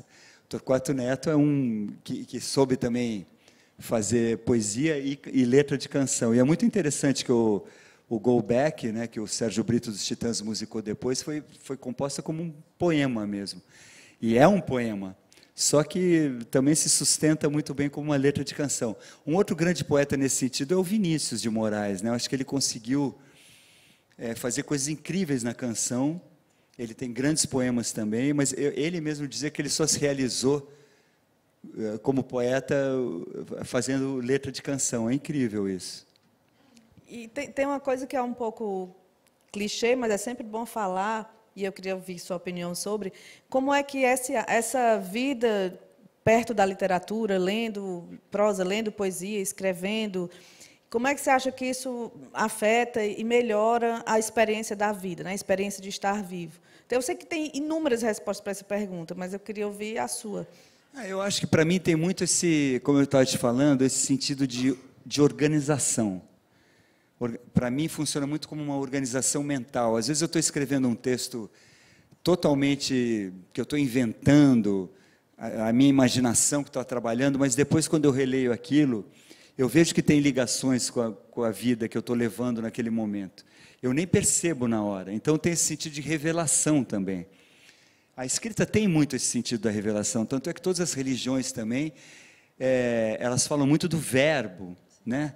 A, a, a vida começa no verbo, é a palavra sagrada, é sempre a palavra que explica é, a criação, não é a criação em si, é a palavra que explica aquilo. Tem muito.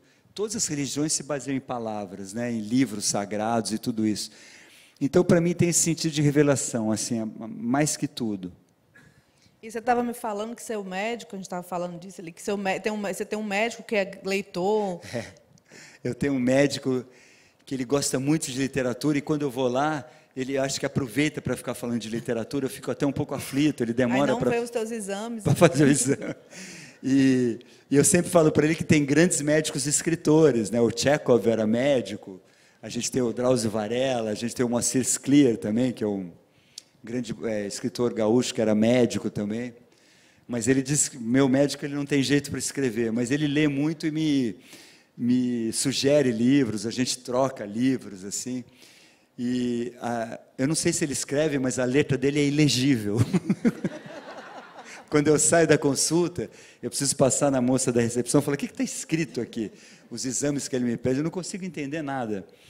Mas é, eu acho que é, eu acho que ajuda qualquer pessoa a escrita, a, a leitura e a escrita, porque no, no fundo a escrita é muito difícil, né? Todo mundo tem dificuldade para escrever. Você vai escrever um. E cada vez mais, atualmente, que a gente está muito ligado no, no iPhone, a gente vai perdendo.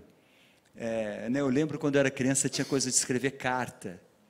Aquilo era demais, assim. Teve uma época que meu, meu pai ficou muito tempo na Europa, meus pais eram professores também, ele estava fazendo uma pesquisa na Espanha, então, minha mãe falava, escreve uma carta para o seu pai. Então, tinha aquela coisa de sentar, escrever. É, é, é um processo que você tem que, que parar e se concentrar e produzir alguma coisa que faça algum sentido ali, né? Então, é, eu acho que é importante para qualquer profissão a gente ter esse hábito da escrita, que cada vez tem menos, né? E da leitura também, né? E supondo que alguém aqui na, na plateia queira escrever e tenha vontade de escrever, o que, é que você aconselharia? Além de escrever no, no curso, né? na especialização, tem uma turma 6 começando em março, mas além disso. Qual, é, primeiro, fazer um curso com a Socorro, acho que é fundamental para qualquer escritor. Né? Obrigada. Não, eu acho que assim, é, tem duas coisas. A coisa mais importante para quem quer escrever, eu acho que é ler. Acho que a gente só aprende a escrever lendo e não consigo imaginar que tenha havido algum escritor que tenha aprendido a escrever sem ler. Então a gente realmente aprende, entende como aquilo funciona quando você começa a fazer uma leitura, como se fosse uma leitura crítica dos livros, né? Tem um jeito que é você ler o livro como um leitor que está só ali, né, se deleitando com aquele livro, e tem um, um jeito que eu, desde pequeno, tinha essa intuição que é ler o livro imaginando como ele foi escrito e por que, que ele foi escrito daquela maneira. Então aprendi muito a escrever assim. Então eu estava lendo um livro do, do Hemingway, por exemplo, e de repente uma uma coisa ali que ele que ele fazia um, sei lá, apresentava um, um, personagem mudava a, o, o, narrador, eu falava, nossa, que, que interessante isso. E aí eu acho que você vai aprendendo. A outra coisa que eu acho que é fundamental para quem quer escrever é se aventurar a escrever é fazer aquilo que eu falei no começo. Pô, eu tenho uma história genial, pô, a história ali do, da, da, do meu primo dá um, um, grande romance. Então, senta e vê o que, que sai. Que aí é que você se depara mesmo. Eu acho que o grande barato, o grande prazer de escrever é justamente essa aventura de você ir, é, como dizia o Philip Roth, o grande escritor americano, é ir fazendo, escrevendo uma frase depois da outra e ver que juntas elas fazem algum sentido. Isso é uma, é uma grande descoberta quando a gente consegue fazer. Eu recebi aqui umas perguntas. É, a primeira é, é, é uma pessoa de, não está identificada. Como você viu o seu livro ser transformado em filme? Se você sentiu que foram fiéis à escrita, como é que você, como é que foi para você? Ah, eu acho que é sempre emocionante, assim, e divertido você vê aqueles personagens que você inventou ali, né, em carne e osso, representado pelos atores e tal. Mas, ao mesmo tempo, citando novamente seu amigo Gabriel Garcia Marques, o Garcia Marques ele, ele nunca vendeu os direitos dos 100 anos de solidão para o cinema e ofereceram fortunas para que ele fizesse isso. E só agora que vai acontecer, porque ele morreu e o filho dele, que inclusive está é, tá dirigindo, acho que a adaptação. Mas o Garcia Marques falava, observava uma coisa muito interessante, que é uma dessas magias do livro que eu falo que tem uma tecnologia absurda, é que se eu pego o mesmo livro aqui e para todos nós lermos, cada um de nós vai imaginar aquele personagem com um rosto diferente. Isso eu acho fantástico, porque é, no, quando o livro passa para o cinema, essa, essa magia se dissolve. Quando você vê o, no caso o Bellini foi o Fábio Assunção, um belo Bellini, assim, maravilhoso, ele interpretou muito bem, mas quando ele virou o Fábio, eu acho que, é, de alguma forma, é, né, diluiu aquela magia que é cada um de nós aqui imaginar o, o Bellini, o personagem que for, de uma maneira diferente. Que isso que é legal da literatura. Quando a gente escreve, a gente conta com o leitor. O leitor tem que escrever o livro junto com a gente. Então, quando eu descrevo um personagem, eu estou imaginando, de repente, aquele personagem parecido com um vizinho meu. Quando você lê, com aquela mesma descrição que eu fiz, você não vai imaginar a cara do meu vizinho. Provavelmente você vai imaginar alguém do teu conhecimento. Pô, esse cara, aí vem um teu tio ali, que você pum, bota a cara dele naquele personagem. Eu acho isso muito legal. Tem outra pergunta aqui. O livro Dom tratou de um personagem real. Nos seus outros livros era ficção. Como foi a construção dessa obra do Dom, que é uma história super legal? É o Cristiano Góes que pergunta. É, essa é uma pergunta interessante que foi realmente muito muito diferente. Eu já quando eu escrevi o Dom, que é o meu mais recente romance, né, eu já tinha escrito nove romances. E todos esses nove romances foram inventados totalmente imaginados, eu criei tudo, inventei. E quando eu fui escrever o Dom, muito instigado pelo pai do Pedro Dom, né, que é esse, esse assaltante, para quem não conhece, é a história de um assaltante carioca, que foi morto pela polícia. Vou dar o spoiler já, mas isso todo mundo sabe. E o pai dele insistia para que eu escrevesse a história dele. E eu falava, cara, isso eu não faço, que eu não vou escrever uma história. Eu não sou, não tenho essa visão do, do, do texto jornalístico, do texto biográfico. Tal, e ele insistiu, insistiu. E, e um dia, falando da Malu novamente, a Malu estava arrumando umas coisas na minha casa e achou um, um, umas anotações que eu tinha feito numa época que eu fui convidado para fazer um roteiro sobre esse, esse personagem que acabou não indo para frente. O, o, filme eu abandonei aquilo. Quando eu, reli ali as minhas anotações, eu falei, cara, isso aqui dá um romance. Aí eu liguei para o pai do, do Pedro, que é um personagem também, Vitor, morreu agora há pouco tempo, e disse para ele, Vitor, eu vou fazer o livro, mas eu vou fazer um livro de ficção. Eu vou inventar o que eu achar que precisa ser inventado. E ele falou, ok, faça como você quiser. E foi muito interessante, até principalmente porque como é a história de um bandido, um assaltante, um cara que passou muito tempo escondido da polícia, lá na, na Rocinha, na favela da Rocinha, no Rio. É, ninguém poderia escrever uma, uma história absolut, absolutamente fiel ao que foi a vida dele, porque tem períodos em que ninguém sabe exatamente o que ele fez. Teve uma época que ele ficou preso no Espírito Santo, e que, quem, quem, poderá dizer o que, exatamente o que foi o dia a dia dele naqueles anos que ele ficou preso? Então, em alguns momentos, você teria que resolver com a imaginação mesmo. Então, eu criei um romance baseado numa história real e foi muito interessante, que por um outro lado também, sempre me deu um, um rumo, porque o, o, que acontece às vezes quando você está escrevendo um, um, romance totalmente imaginado, é que chega momentos em que você fica meio numa encruzilhada, você fala, cara, o que, que, que, que, que eu vou fazer agora? Para onde eu vou? Eu posso fazer qualquer coisa, esse personagem pode acontecer qualquer coisa com ele. Então você tem que tomar decisões, nem sempre é fácil. E como eu tinha a história, sabia o que, que né, tinha alguns pontos básicos, né, o, o que aconteceu, ele foi morto, aconteceu isso, aquilo, aquilo ali. Então eu podia me guiar e, e nesses nesses espaços entre um ponto e outro que ficavam meio obscuros, eu podia inventar as coisas. Então foi um, uma experiência muito interessante como escritor, e eu acho que o livro ficou muito bem resolvido, né? É um livro que eu tenho orgulho assim, que eu acho que ele ele se sustentou. Que a gente nunca sabe se vai dar certo quando está começando a escrever, né? E tinha a, essa relação com o pai, do pedido do pai, que eu acho que deve ter sido um desafio a mais, você estar tá com essa responsabilidade de, de, atender a esse. Não, e, e o pai dele eh, literalmente me encheu o saco. Assim, ele me escrevia, ele me ligava. Você tem que escrever o, o, a história do meu filho. E, sabe, eu já estava num ponto que eu Pô, ia falar, cara, ia procurar alguém para escrever para ele. E, de repente, eu, eu, me toquei como aquilo era um, um presente que eu tinha na mão. Por causa da Malu, que achou. é, tem muita pergunta boa aqui, Tony, mas eu selecionei duas por causa do tempo, que o pessoal quer te ouvir cantar. Eu vou é, cantar? É, Não é escritor? Que... Vai. Inclusive, uma pergunta aqui é sobre isso, da Carla Mendes. Qual a diferença entre compor, fazer música e escrever um livro? Quais são as sensações? Ah, é bem diferente. Principalmente para mim, assim, a, a, o meu trabalho na música ele é um trabalho muito é, coletivo.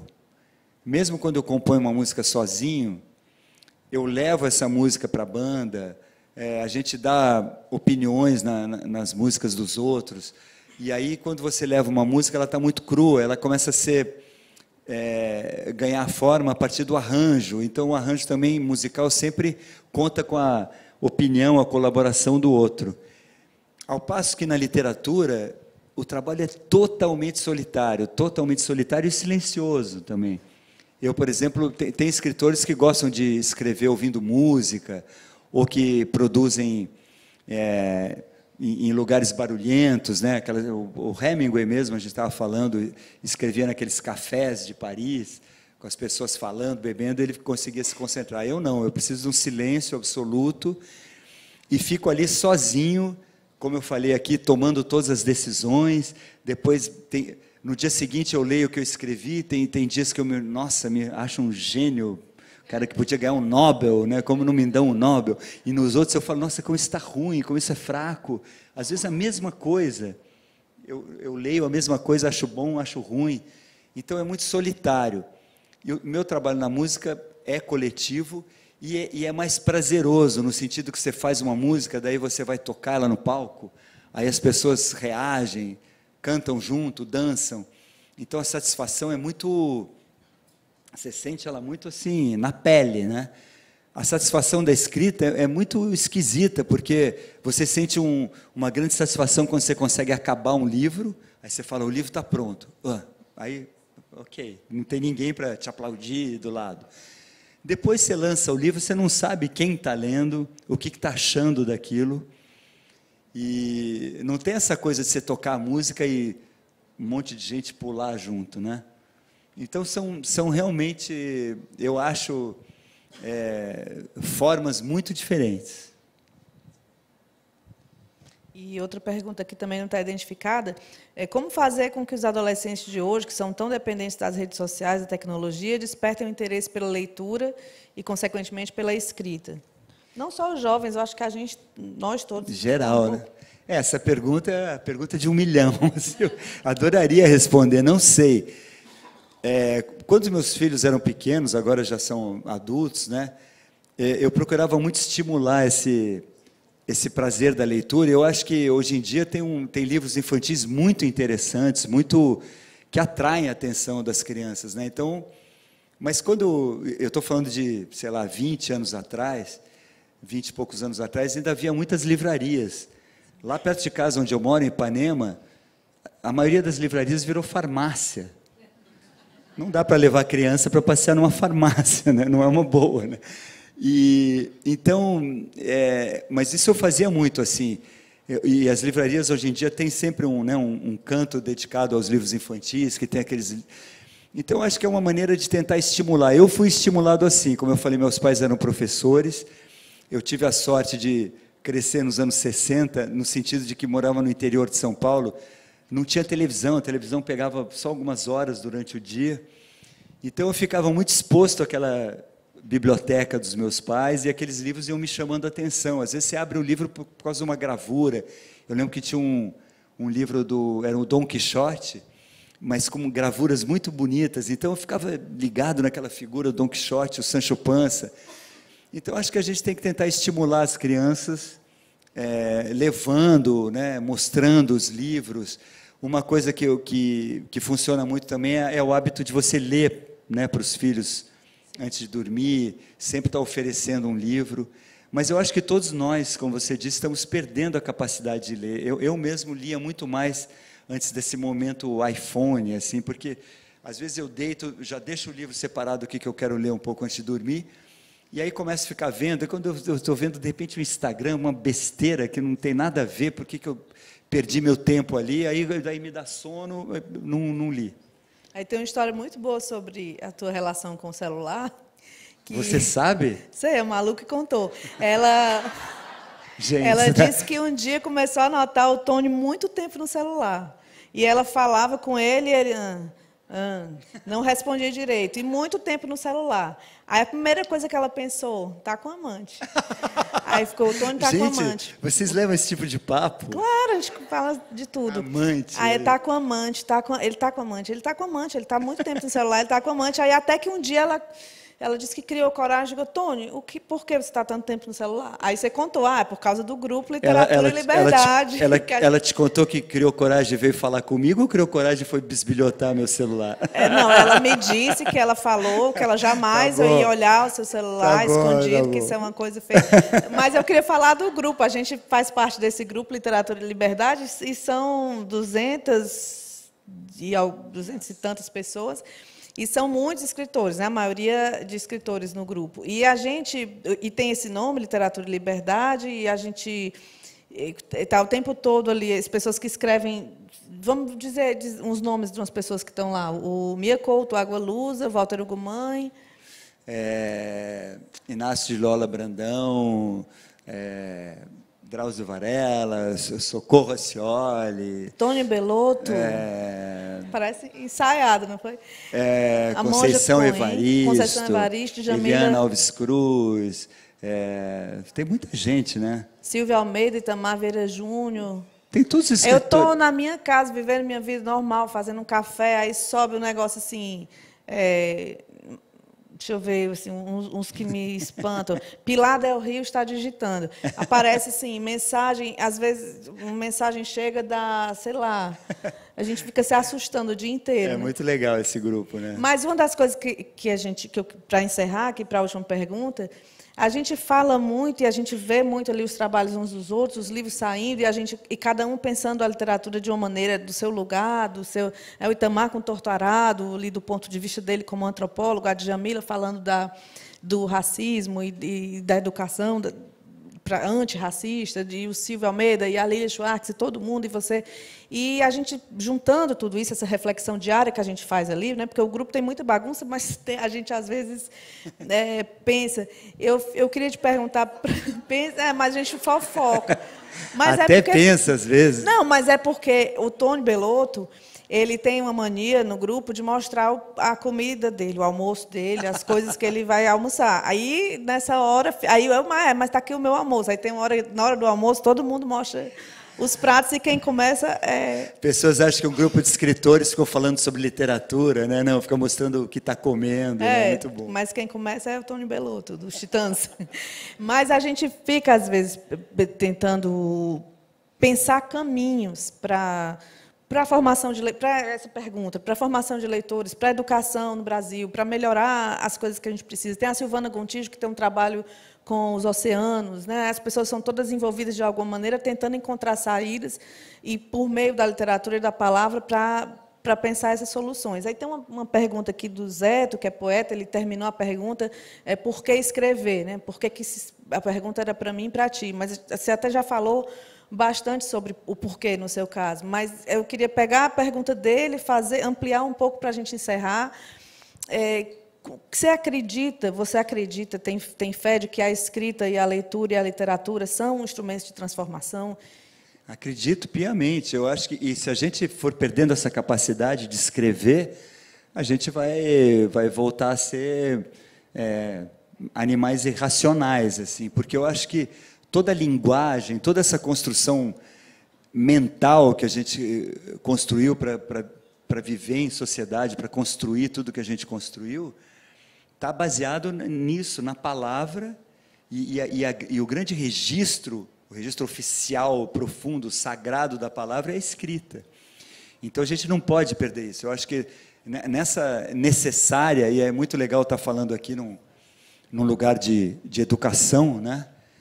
É, a gente precisa é, investir muito nessa questão da educação e pensar muito na educação das crianças e reforçar muito a importância da leitura, da literatura e da escrita, que senão a gente vai começar a evoluir e os sinais já estão por aí aparecendo. É, é muito, é fundamental. Para mim é uma coisa. E, e, por que que eu, por que escrever? Porque é uma, é uma questão assim de, para mim, é, é uma coisa que eu nem questiono, sabe? Quando eu estava falando aqui de criança tal, eu escrevo por uma verdadeira compulsão, assim. É algo que eu tenho que fazer, como beber água, como comer aquelas comidas lá que eu mando fotografia. Eu, eu não vou escrever assim achando que é uma obrigação ou, ou não é o meu emprego, né? Eu, eu, a gente sabe que livro rende muito pouco, né? Ninguém, tirando talvez o Paulo Coelho, quem é que vive só de escrever? São pouquíssimos. Então, é, eu vou escrever assim como um impulso, uma, uma pulsão mesmo de vida e de compreensão do mundo. E para começar a escrever, que, que você, alguém quer, quer começar de alguma maneira, você sugere diário? Você tem diário? Você escreve diário? Você acha que as pessoas deviam tentar escrever? Assim? Não, mas eu acho que funciona, né? Eu acho que eu, eu, porque as pessoas é, às vezes têm uma ideia de que para escrever é preciso ser, né? Muito inteligente. Tem que, é, é, isso aí é, é, é, uma ilusão, entendeu? Eu conheço escritores que são bem quase que ignorantes, assim, no sentido acadêmico do conhecimento. É, e muitos escritores dizem que você escreve com o dedo e não com a cabeça. Eu, o que, que isso quer dizer? Que você não precisa pensar muito, não é, não é tanto uma questão mental, mas é uma questão de um, de um fluxo então, acho que se você tem alguma, alguma vontade de escrever, vai escreva qualquer coisa, o que te der na cabeça. Assim. Eu acho que você não precisa já se preocupar com o formato logo de cara. Vou escrever um conto, vou escrever um romance. Vou ver o que, que eu quero escrever. Tem muita gente que escreve apontamentos assim. Eu ajudo muitas pessoas que estão começando a escrever. Então, eu tenho uma sobrinha que ela, ela escreve poesia, mas às vezes ela me manda umas coisas que não são exatamente poesia. Mas é, um, é uma ideia ali que ela teve, um, uma observação, ela escreve algumas linhas, e eu acho que vale qualquer coisa. O importante é, é ir e fazer. Isso que eu acho mais importante, porque também uma coisa que atrapalha muito para escrever, e você sabe disso, é que você não pode ficar crítico demais com o que você faz. Isso, para mim, vale para escrever e para fazer música. Porque se eu vou sentar para escrever e penso, pô, mas já teve o Tolstói, já teve o Garcia Marques, já teve o Saramago, o que, que eu posso fazer? Já fizeram muito melhor. Ou quando você vai fazer música, eu sou guitarrista, daí eu vou ouvir o Jimi Hendrix, o... eu falo, pô, nunca vou tocar que nesse cara, mas você não pode se preocupar com isso. Você tem que fazer e o importante é fazer. Os outros vão julgar, não interessa. O importante é fazer. Você viu que eu disse que eu ia encerrar, eu continuei perguntando. Estou vendo, eu vou falando. Mas eu tenho que, eu disse que ia fazer a última pergunta e continuei. Mas é, é realmente agora para encerrar, para te agradecer muito por ter vindo aqui conversar com a gente. A Unifor é, é um lugar muito especial, a história dessa universidade, o que a gente faz aqui.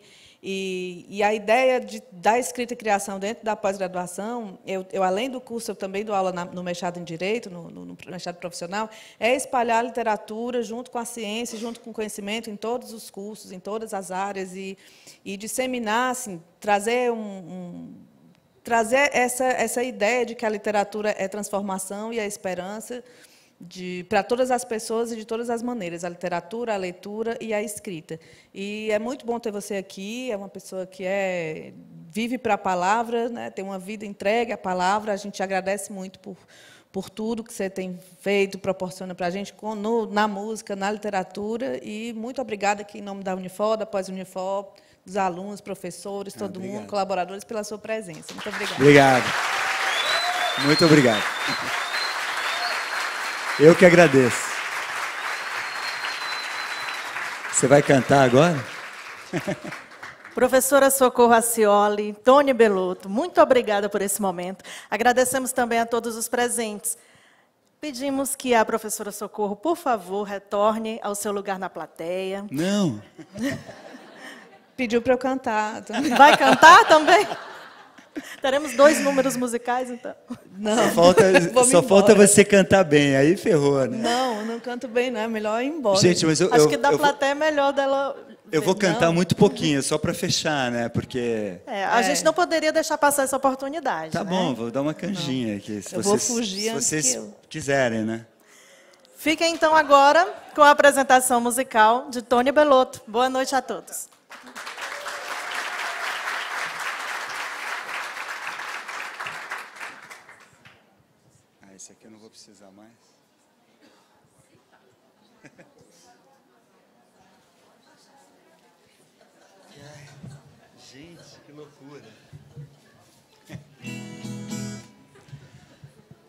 Boa noite. Agora esqueça o escritor. Não, na verdade, tá, tá chegando aí o som? Violão? É, não, só para a gente fechar aqui, eu acho que tem tudo a ver escrever livros, fazer música. Eu vou tocar algumas músicas que eu compus, pouquinhas. E se vocês puderem cantar comigo, se conhecerem, fique à vontade. Eu acho que tem que abaixar um pouquinho aqui, que está dando uma microfoniazinha. Não precisa ficar tão alto aqui para mim.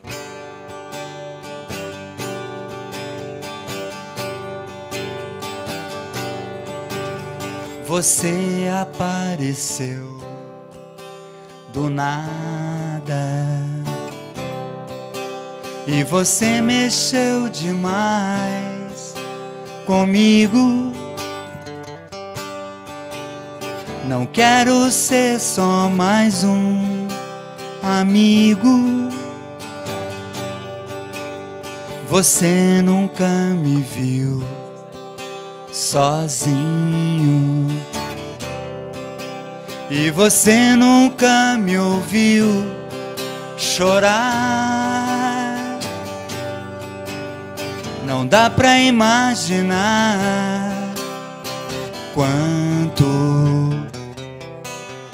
é cedo ou tarde demais para dizer adeus, para dizer jamais. É cedo ou tarde demais para dizer adeus, para dizer jamais.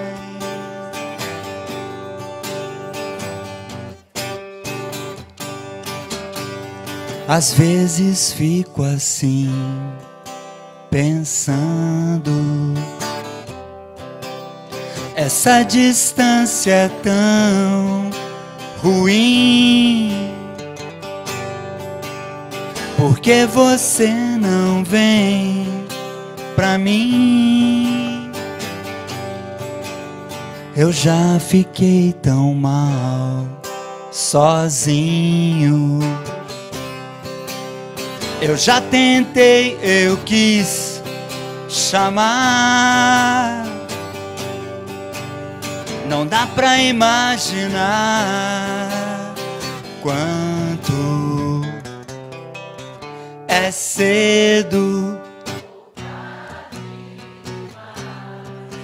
pra dizer adeus, pra dizer jamais. Isso aí, vem comigo. É cedo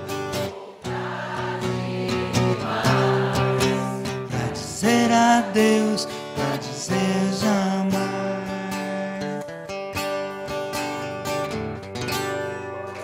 Obrigado. Muito obrigado. É, o que, que eu faço agora? Tem uma, tem uma música minha que eu gosto muito, ela é bem pesada, elétrica, assim, mas eu tenho muito orgulho dela. E essa aqui, ó.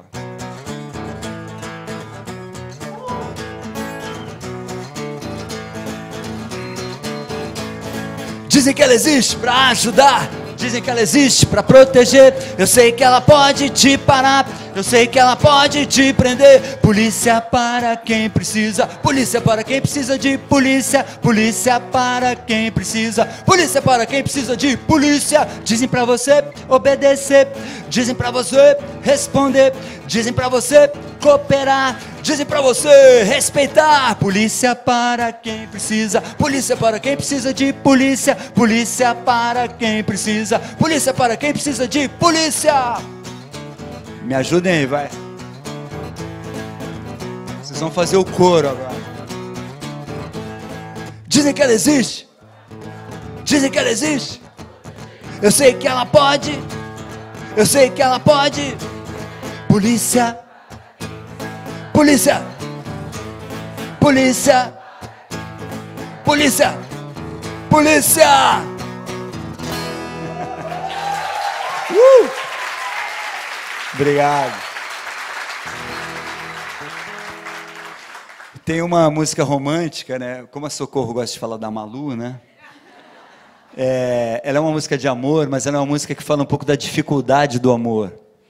E aí sempre que eu falo para a Malu que eu fiz essa música para ela, ela fica meio brava, ela não gosta, porque ela não é uma música clássica de amor, ela fala de uma coisa que acontece, né, com qualquer casal. E daí eu expliquei para ela que minha, o que me inspirou a fazer essa música que eu vou tocar agora é, foi um sonho, foi, foi tipo uma inspiração à La Ferreira Goulart, como eu estava falando, né, aqui agora há pouco. Eu tenho um sonho recorrente, que é o sonho que a Malu está me abandonando, assim.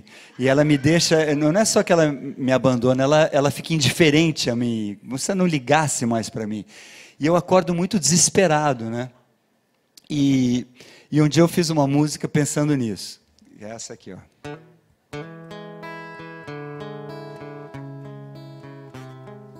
Isso que acontece com a gente acontece sempre com qualquer casal.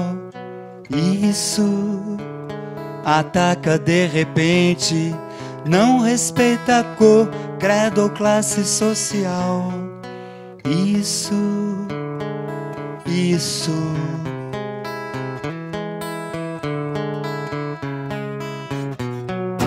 Parecia que não ia acontecer com a gente Nosso amor era tão firme, forte e diferente. Não vá dizer que eu não avisei você. Olha o que vai fazer. Não vá dizer. Não vá dizer que eu não avisei você. Olha o que vai fazer. Não vá dizer. Oh!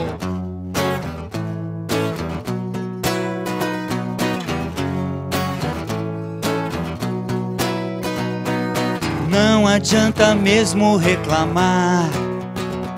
Acreditar que basta apenas se deixar levar. Isso que atrapalha nossos planos. Derrubou um muro e invadiu nosso quintal. Isso. Passam-se os anos, sempre foi assim e será sempre igual. Isso, isso.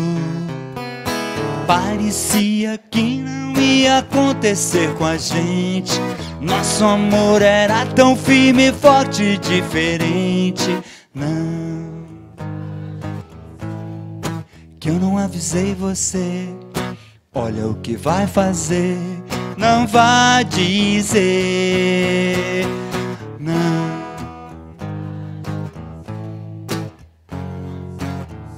Ah. Não vá dizer isso, isso.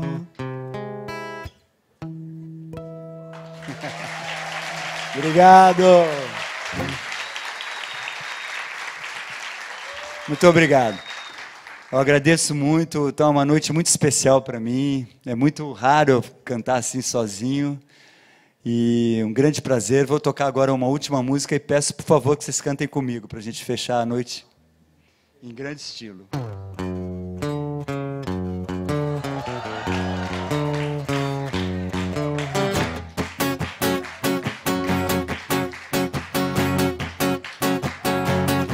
Não posso mais viver assim ao seu ladinho. Por isso colo meu ouvido no radinho de pilha pra te sintonizar sozinha numa ilha, sonífera ilha.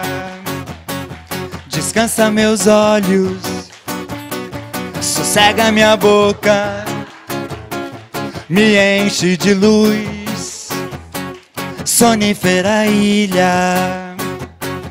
Descansa meus olhos, sossega minha boca, me enche de luz. Então, solinho agora.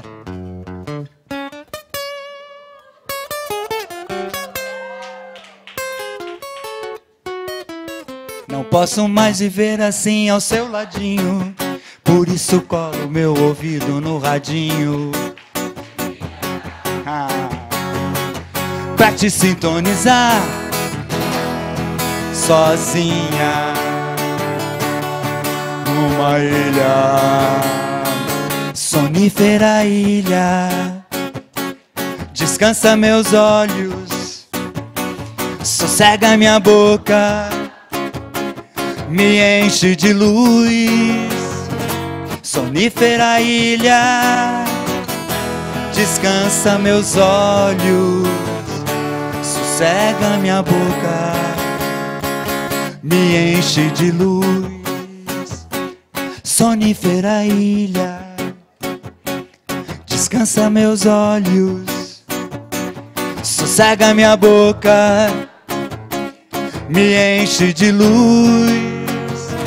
Sonífera ilha, sossega olhos, sossega minha boca.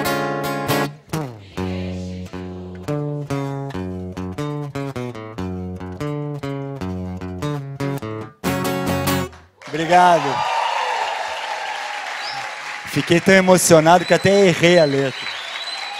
Obrigado, gente.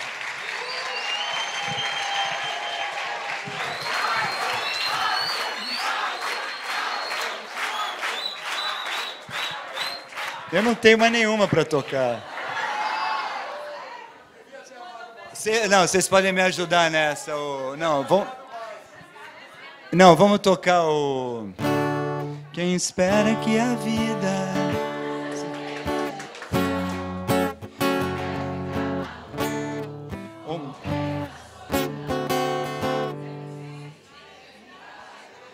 Pra mais tarde não sofrer.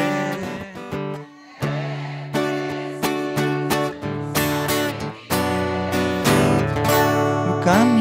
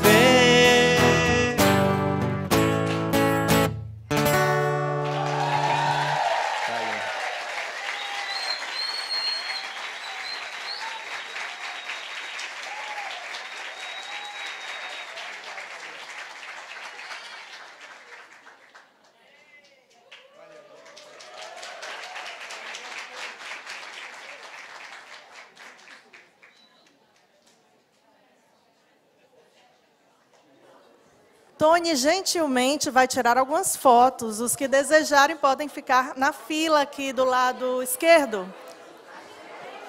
Se possível, em grupos. Ah, todos os professores, coordenadores da pós-Unifor estão convocados para o palco, pois a primeira foto vai ser com o corpo docente da pós. Professores, coordenadores da pós-Unifor, compareçam ao palco, por favor.